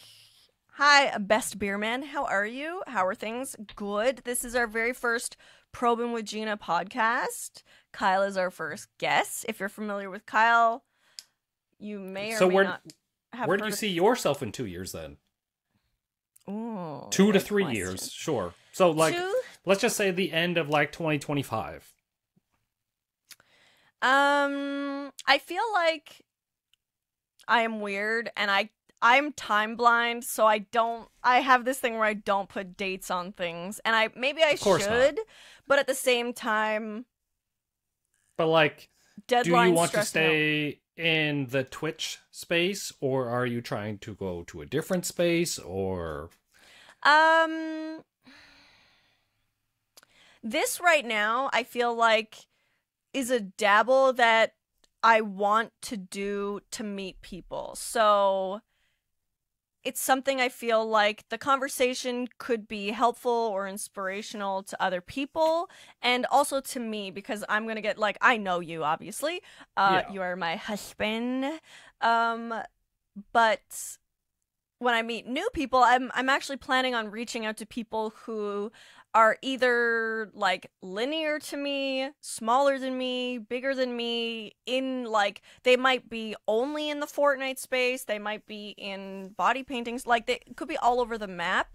Mhm. Um what will that become? I don't know. I honestly think my the- goal is to be creating the best content that I could be making, whether it's like I want to have presence online. I, d- I don't know how to define that though. Like, I don't want to say I want to be huge on Twitch. Like, what if I end up being huge on YouTube? I will also accept that. So, I want to be big in the internet space, making content that I love, meeting cool people, having fun, creating art. Like, I want to be known for being a creative person. Obviously, I'm trying to grow an audience. I, I don't have numbers though. Is that weird to not have numbers to describe that's that? okay. But Um, that's that's definitely what I want. Like I want to just continually stay curious and try different things to grow. Cuz like I said, I feel that's that still doesn't sound like a goal, but do I see myself podcasting in 5 years? Maybe. maybe it's That is one a of the great easier answer. Thank you, Danny. I just like I I feel like I don't want to restrict myself either. You know what I mean? Yeah. Like I love Twitch. Um I I really do love love live streaming on Twitch, but if it like what if it grows into a hosting thing? I do want to try voice acting. I, I am open to that becoming a thing. I just genuinely want to do things that I love, enjoy my life, have time for my family, live somewhere where I am genuinely happy with the space. You know what I mean? Like right now, our house is good for what we have right now, but obviously eventually it would be so amazing to have like more studio room and more um I guess flexibility with like right now I don't really have a plain wall anymore besides that one wall in our bedroom. I was telling Yes. Danny about it today. I don't really have a plain wall anymore just to take plain photos besides the one in our bedroom and our bedroom Well- is 99% of the time a huge mess like my Yeah. sex machine's on the floor like 90% well it's a time. it's a good thing that like outside of the garage I, I i lived like a minimalistic lifestyle so i don't have a lot of things inside i have mm-hmm. like my pc my one side of the bed and that's about it but I mean, and your piles of parts around piles of car parts, but that, that should be in the garage. Yeah, you definitely Yeah. don't take up a whole lot of space. I definitely. Uh, But but the your garage would though. Come yeah. on now. The podcasting thing is definitely one of the easier things to maintain because it's just genuine conversations between two people, and I don't feel like it's forced. I don't feel like it's it's like a hard thing. You don't have to stress about it because there's no like giant pre-planning. There's a couple questions you got to come up with, but for the most part, if you can get the ball rolling and get the person to open up, I feel like let the conversation take the path that it's going to take, and Mm-hmm. it's just like a, a fun thing to do. Like, I, and that's all I want it to be. Like I feel Yeah. like the more I, it goes back to the conversation I said about stressing for partner on Twitch. Is Yeah. like if I stress for that one specific thing, like I I don't want to be stressed. I want to make content and grow, but And- do and- it genuinely, right? yeah, it's almost like if you try and force something as well, it doesn't. It always does the opposite thing that you want it to yes. do. Yes. Yeah. And when you're just genuinely having a good time, making things that you like, that's when something hits. Like nine times out of ten, that's when something hits, right? Like when you're Yeah. making content that really resonates with you and other people. So. All right. So who who do you want to have on next? Like, let's just say I'm number one. hmm Do you have people in mind for number two, three, four, five? I actually already asked somebody for next week. Um, I was not expecting that she would be ready to like, because I was like, hey, I'm starting this thing. Here's the basis of it. I would love to have you on it. Um, it's somebody who actually I first when I first got on Twitch, she's one of the people that I first started watching. Uh, she does body paints. Actually, Slade was the one that introduced me to her. I watched um, Dejari, this is who I'm talking about, and also Dakota's. I would love to ask Dakota's that I think will come. I, I I will likely ask him mainly because he is the first person that I ever watched on Twitch, and he inspired me to start playing Fortnite. Dejari inspired me to start considering body paint, right? Like I seen a couple other body painters, but she was the one that I really loved her artwork, the way that she um like her style of art and what her presence, I guess. So she inspired me to do body paint. She's actually going to be meeting me with with me next week. This was kind of the test run. That's why Kyle is number one. She's going to be number two. So we might still. I, everything seems to be okay right now. I'm curious to know how the recordings and stuff are going to show up on the podcast platform that I'm using.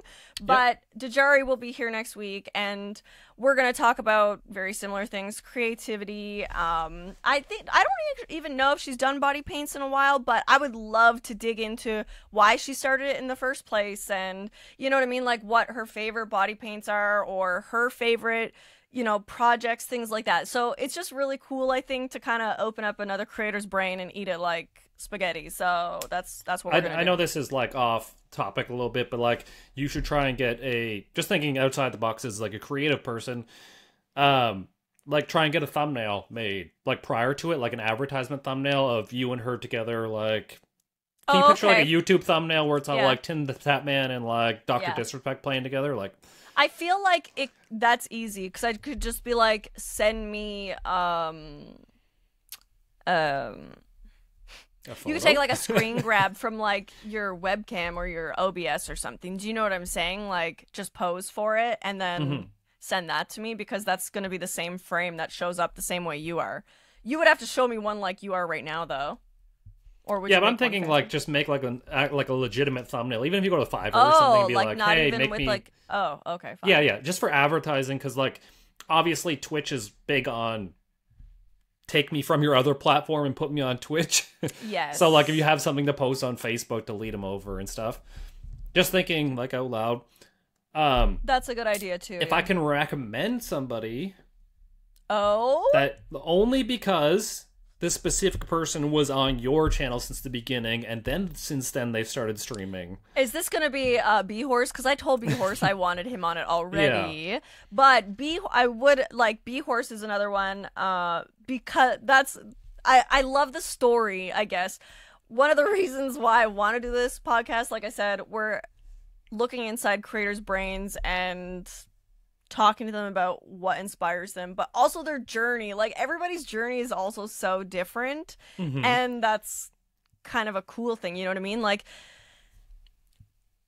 going back to goals and talking about journey um, the other day you had asked me like what do i want and this might sound very tropey or very um maybe stereotypical but like i would love to have a large platform i mean anybody who is trying to grow on social media wants Yeah. a platform right like that's whatever Regardless of how humble you are, you still exactly. want. You know what I mean? We're all humble, but it would be amazing to have a bigger audience. I would love to be as big or bigger, like, dare I say it?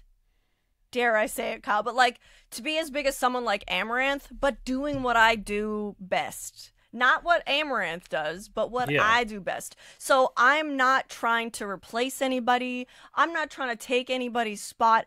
I'm making a spot for myself at the big table. Like that's I want to be a big quality That's content fair. creator and I'm making And- my own seat at this table. to like table. re-loop that back around because initially uh when you started your twitch and your facebook and all this stuff i was a lot like i was much bigger than you and if you ask someone where they came from a lot of the time it was from my platform to yours Yes. but now if you ask them the same question of like how did you find me a lot of the times it's just like I found you, you're on my homepage, or I liked what you were doing, or I came from Facebook. Like you've built your own thing, and I, I'm like I'm so proud of you for doing that. Ah, Cuz like. Sure, it's easy to uh, build something off of something that's already built, which is like how collaboration works most times. Mm-hmm. But to to get there and build your own thing is still like amazing. Thank you. Uh, it's definitely, if you think about it, like when I think about my own journey as a creator, because I dabbled in so many things, I struggled with having a niche. I still don't have a niche. I've just accepted that now that I'm a you're- you're variety creator. You're yeah, weirdo. like I just I create variety content and I enjoy that and I mean some people might not like my body paints or my cosplays and they only want to see my car, but like I'm not really a car content creator. I'm just the chick who's driving the car really. Do you know what I Yeah, mean? yeah Like, we made a list of everything that you do. you like race cars, you do body paints, you do art, you stream Fortnite, you're now doing a podcast. Like, there's no one specific thing that you've been doing. You do it all. But I don't like. Maybe maybe your viewership's higher when you do a hot tub stream. Maybe your viewership's lower when you do a podcast. Like it, it's gonna be it's gonna level out eventually to where people just come for you. Uh, and That sounded that's weird, but- that's what you hope for, right? Is that Yeah. audience where people want to come hang out with you, hear what you have to say, hear like have these engaging conversations, uh, not just with me, but whoever I decide we should talk to. Do you know yeah I mean? and and it's like i keep talking about my youtube about how this thing did really well and this thing is like it's maintaining but like there's always a like when i post a video i know it's gonna do this amount of views because there's always gonna be that base viewership who likes watching me for me and they don't care what i, I make they just want to like interact with me and then there's like this big viewership of like they're interested in what i'm doing and not so much me Mm. I see what you mean. Yeah. Um, just going back to the the the journey conversation, I was just thinking about how I ended up in body paint, and because it's almost like every aspect of my variety in my content creation has had a progression that started from something small or like something whatever and evolved into what it is now. So like body painting, um I think back in 2000 i don't know if it was 2015 or 17 i don't not sure what year it was but i was one of these fucking network what is it? Network marketing moms? That was me. I was fucking slinging makeup and i was trying to sell makeup on the side. I had a full-time job but i just i needed something on the side. I always needed something. Like before that i had photography. And because I, I deep down knew that like the nine to five job just wasn't it was not satisfying for me. What i was doing was not satisfying anyways. And so i always had something to like fuel my creative curiosity. So i had photography. Eventually i started selling makeup and the makeup I was trying to sell was actually really good quality. It was like cream based, it was expensive. But to start selling it, I started doing live videos on my personal Facebook and I would do different makeup looks. And it would just be a face paint though at this point. And I literally would use that makeup and whatever fucking costume shit I had around me. Like it it's not that I purposely made cosplay things at this point, but I knew how to be resourceful and like utilize things to make it look like I wanted.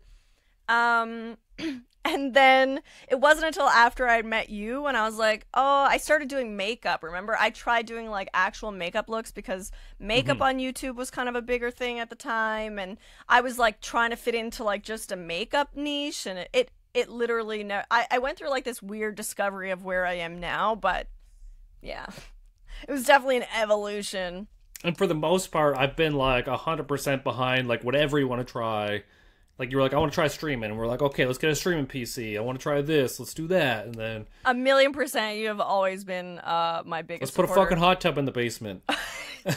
yes, definitely. Um, wh- you said most though. For the most part, what is something that you never approved of? Uh, it's not that I don't approve of it. It was like what I've al- I question sometimes like what you're trying to do and what your intention is behind it, just so I can like figure out like where your head's And at. and that's fair, cause like maybe something inside me tells me I need to do it because it's gonna open up maybe in this direction for me. You are not experiencing that same like aha moment, so I could understand why Yeah. you want to question it, right? Like. I'm not trying to talk you out of it. I just want to know like where are you you like where your vision at was for like specifically this podcast. You Yes, were like trying I to explain it to me, and I'm yeah. like, okay, so you want to add another thing to what you're doing? first, I was like, "Yeah, so I think I'm going to start a podcast," and he was like, "What? You're already doing all these things? Like what?" And I was like, "Yeah, but you always tell me I need to collaborate, and I do. Like I do find collaborating collaborating with other Fortnite streamers." For some reason, I've never had luck with lining it up. Now, could I try harder? Probably, but I'm also not the type of person to like beg anybody either. No, I, So- I, I'd still like to see you do that. Actually, I, like, I okay, yeah. let me let me finish though. The fact that I was like, this is a great way for me to meet someone, have have casual like kind of conversation. There's no pressure to be good or bad at a video game. Like there's no there's none of that distraction. We can just Yeah. converse and meet. And so now, say you're a different person that I never met before, we kind of have some sort of a connection. We've discussed these things. Now I could be like, hey, you know, like if you like Fortnite or you want to try it, like let's game together sometime, and we could potentially collaborate outside of just the conversation. So True. And then, like, thinking be- because we're so dedicated to just Fortnite, that kind of limits like your collaboration space. And I know people tell me I should try other games and do that, but I just I don't enjoy other games. That's That, the and that's what problem. I'm. That's what I'm getting at here is that the Yeah. podcast you can now you open up your scope of who you can collaborate with because. Just say Panda Skills for example, because he was actually like super nice dude and like oh, I approached loved you and like yeah, Basically, when we met Panda at Loot Fest, it was basically a little mini like exchange like this where though. What? Oh my god, we were so high when we met at Loot Fest. But I do like he was telling me about like how he considered himself a content creator versus a gamer. So Panda would actually be a really excellent person to have here Yeah. because um me, I always try and lace my content with some sort of artsiness from my background, right? Like I, I feel like I always try and do that. Whereas for him, he might have a different train of thought when he's creating his own content. So I, feel like that's going to be a really interesting can of worms to open, even in Yeah. talking to other creators and maybe inspire people in the audience, inspire other creators and myself. So I feel like yeah, it could be really fun. I feel like if you if you love the podcast, then it's a, definitely a great way to expand like your reach out to people. Mm-hmm. Mm-hmm. So there's Dejari's next week. I would like to get B Horse on here, and I know B Horse had mentioned that he could probably um I, I'm assuming his, his schedule would be okay. Um I am open to suggestions if there are people that you guys would like. Um obviously it's not gonna be everybody and not everybody's gonna agree to like be on this because it's like right now this is literally on my Twitch channel, not even on like a separate channel. I will be uploading it to Spotify. Um, that is kind of like also nervous. I don't know what oh, I'm doing. Oh, as like the audio version or an audio video I think version? you could upload video, audio podcast to Spotify. So if they want to watch the video, they can. Or Or, if audio. you just want to listen to the audio, you can. So Oh, I will be uploading it to Spotify and probably my YouTube channel as well. I haven't yeah, decided YouTube if makes I'm gonna... sense. Yeah, Yeah, So- we just gotta get the thumbnail to go with the YouTube video because the YouTube is stupid like that. sure, yeah. Yeah. So, and that also comes with figuring out the program that I'm using uh, for this. I don't know how long it's going to take to process the video because we did a test run before this, and a two minute video like still wasn't processed at the time. So I don't know what's going to happen here, but hopefully, Yeah, there's definitely gonna be a couple hiccups, I think, with the whole podcasting producing thing. Yeah, and that that that's just one of those things that you expect to evolve. Like at least I've Yeah. started it, and I don't know if we're gonna do it like every Thursday or if, because I also don't want to have hard constraints on the creators that I am interviewing. Because as content creators, that's one of the joys of your job is having flexibility. So what works for me might not work for them, and I, is that good or bad? I don't know. True. And I I feel like this one went decent, and as it progressed, we got like less stiff and more open, and I think that's just how it's gonna go. Like we we don't have a lot of experience in podcasting, and that the longer you do it, the more experience you get, and the more fluid it gets. It's probably gonna get better over time. So the first few are probably gonna be a little bit clunky. Maybe. Yeah, and then and that's okay. It is what it is, Yeah. right? So, uh, hi seven, longtime listener, first time caller. What I want to know is, will this just mean extra ATK, or are you thinking of shifting? Uh, this is going to be in addition to Fortnite. Like, I guess right now we could be playing Fortnite. Uh, we intended on doing this earlier, but I wanted to do some more testing on the program. Sometimes I think Kyle gets a little impatient with me, like, why don't you just do the thing? But then I also it's not necess- sometimes i'm very indecisive but sometimes i also am like passing checks in my mind it's sometimes it's not indecisiveness sometimes it's just my process and me getting through it so Yeah. Well, my biggest thing was if you wanted to start a podcast, I was like, just do it. Don't worry about the name. Don't worry about the logistics of it. Just start doing it. And like the pieces are going to fall together Yeah, sure. as they will. Yeah. absolutely Because I know, I know Geena, and she's very like uncommitted to things if she doesn't like if i don't want to do them basically? No if you if you like even making a post on the internet she's all like oh i don't know if i should post this. And i'm like just fucking post it. I will literally sit there and my mind is going in circles. Okay, I want to write something that is like this, but how am I going to word this? And then I reword it five fucking times, I'm sure. and then I'm like, you know what? This is stupid. I probably shouldn't post it. And then I don't, sometimes I don't even end up posting it, or it sits in like an open tab on my phone until I'm like, okay, I think I know what I want to post now, and then I'll post it like after. So there's some like, indecisiveness. I don't I, I don't know what part of my brain to fix to get that to go away, but you know, we're working on it. um ballard had mentioned earlier and he keeps mentioning it that you should have me and tokyo on as a duo as a omen to the hood rat racing podcast Oh my god, the hood rat racing, maybe. We'll see we'll see what happens. yeah start with Um, your your suggested streamers and then figure it out from there I feel like uh We'll see. We'll because we have Mhm. Tokyo on play Fortnite with us all the time. We could literally just like do a Fortnite and Yeah. chill type thing there. I too. know. It- So it doesn't I just want to keep the podcast directed towards content creators. creators. and yeah Tokyo is an amazing friend and I love him. Um but Tokyo's It's- not a yeah, content he's not a con- creator. Do you know what I'm saying? Like se, that's yeah. yeah. So that's that's my only um, definitely reach out to some people that you watch like i know you watch like uh, you watch people above you and then you you don't want to reach out because you feel like you're overstepping but Mm-hmm. Abs- absolutely though, because um, I have reached out to people before and gotten nothing, and that's okay because people reach out to me and I give people nothing because True. sometimes Or I'm it's lost. overwhelmed with like I get a lot of messages and sometimes I have trouble getting through the messages I'm being paid to answer. Do you know what I'm saying? So Yeah.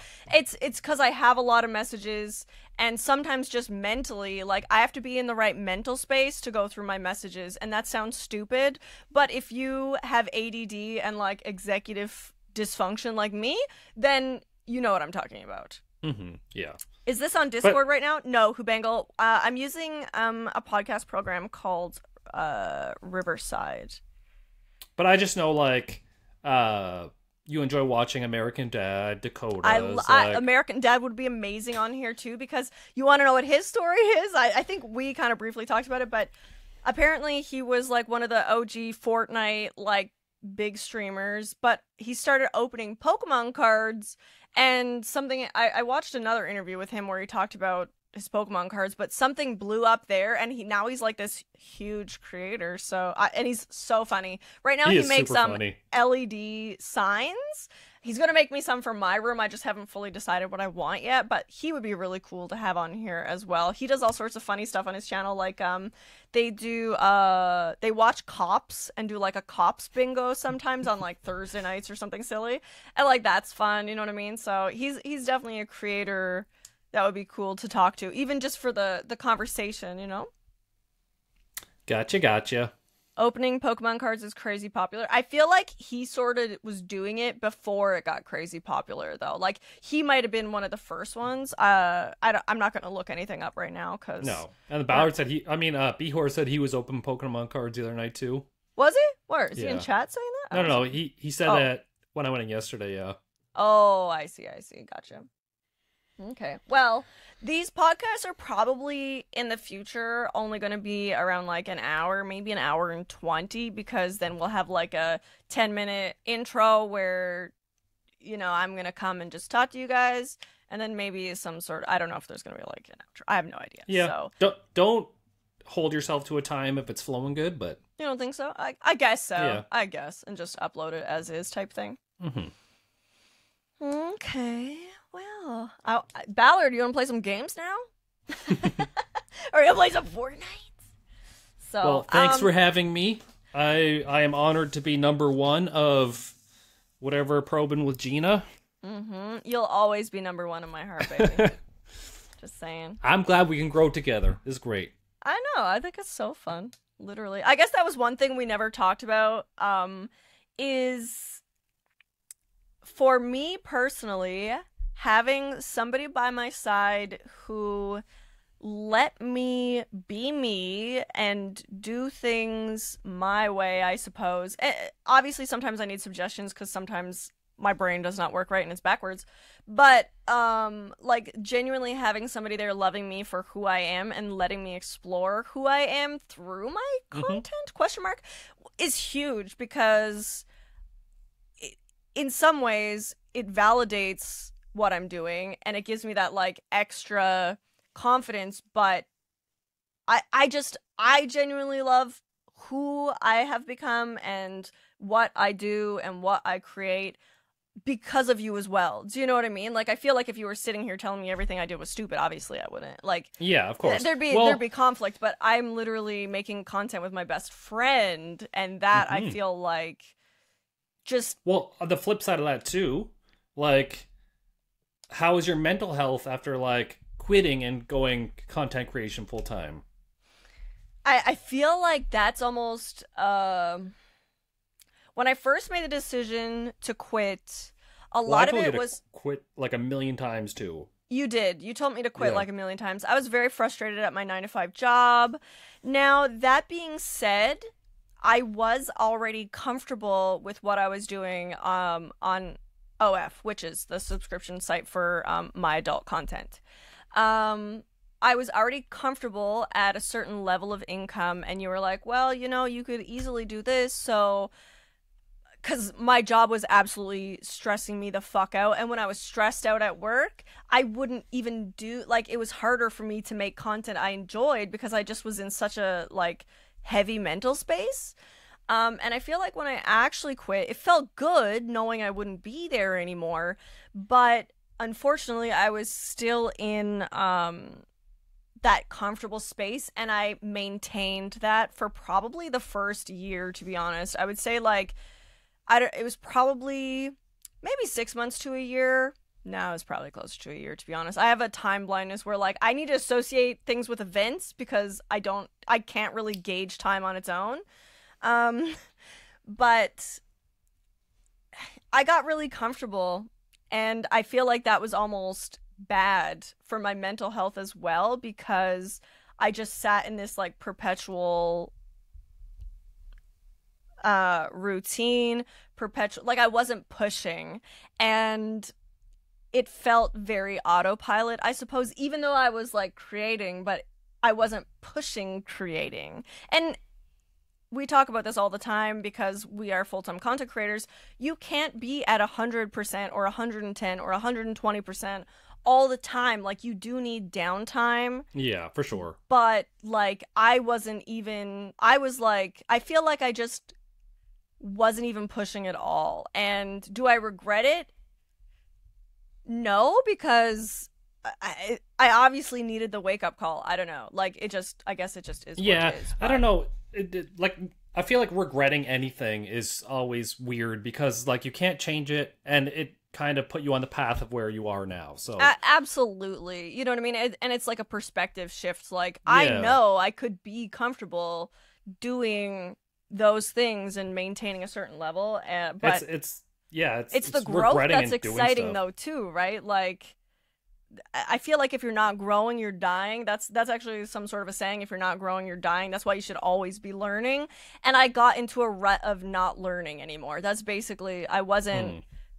pushing myself creatively. I wasn't actively learning something to grow. You know what I mean? So I got caught in that rut, and I think I, I think you were frustrated with me because you were still working and I was not, but yet I wasn't pushing and you probably felt like I was wasting my time because if the if it was flipped and I was still working and you were doing YouTube and you were able to maintain like that level of income, uh, you probably would have pushed a lot harder, which I know you would have because you are very like driven, motivated. So I can sometimes be a lot more emotional and let my emotions get like a hold of my mental status? Question mark if that's a thing uh but we're through it. And i definitely feel like i've realized that i need to seek this excitement of growth Well- like the curiosities and the learnings. Like I, i've put myself back in those shoes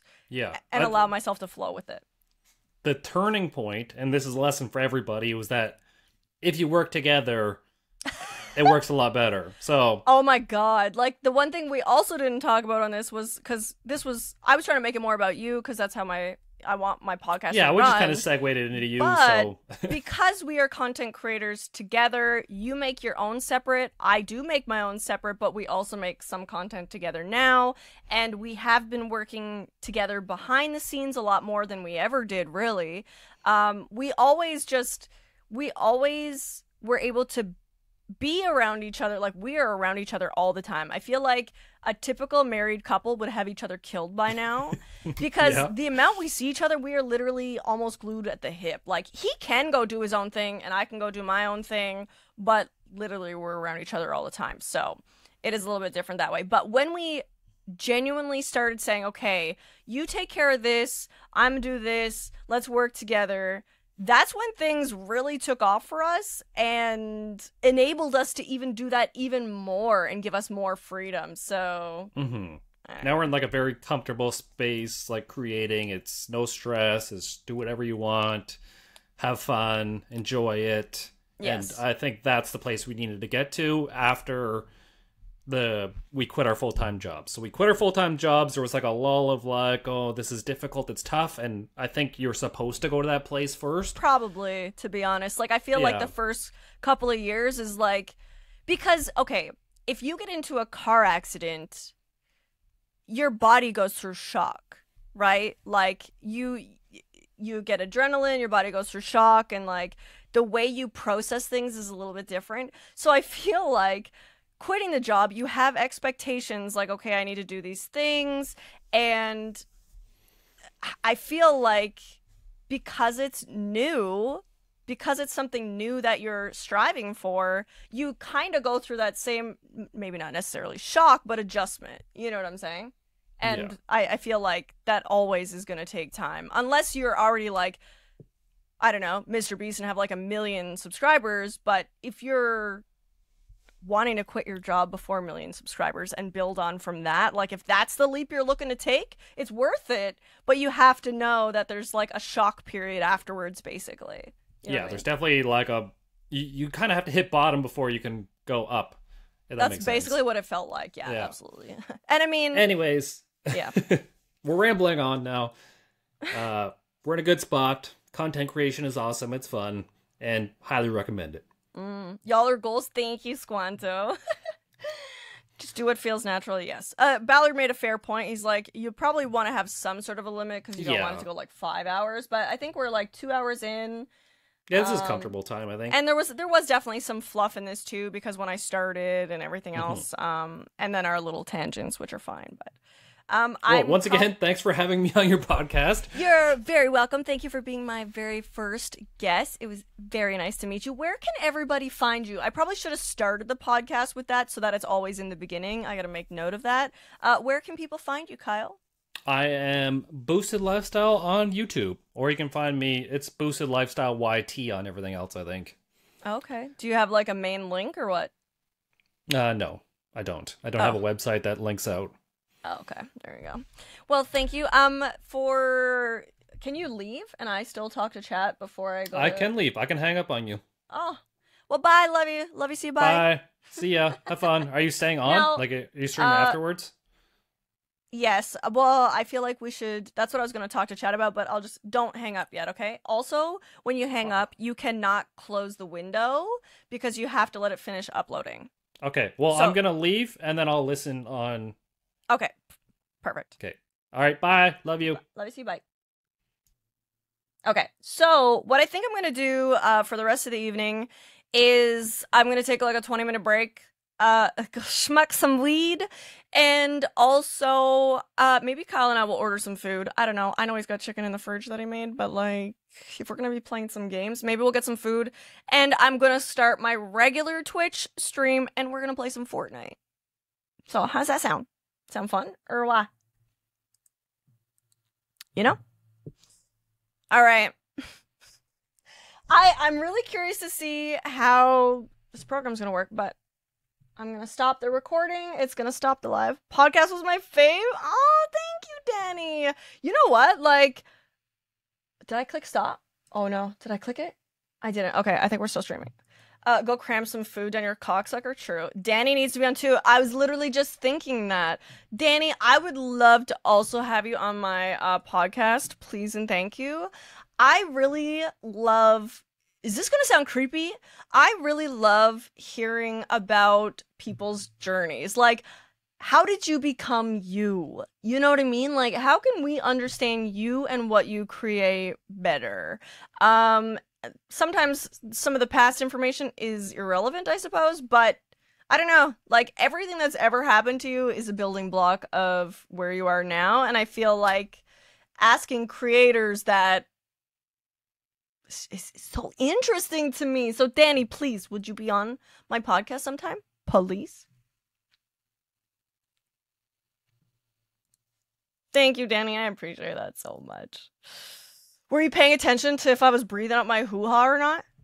I would love to. Yay! And then we should play some Fortnite together. But I do have to. I was looking. I honestly.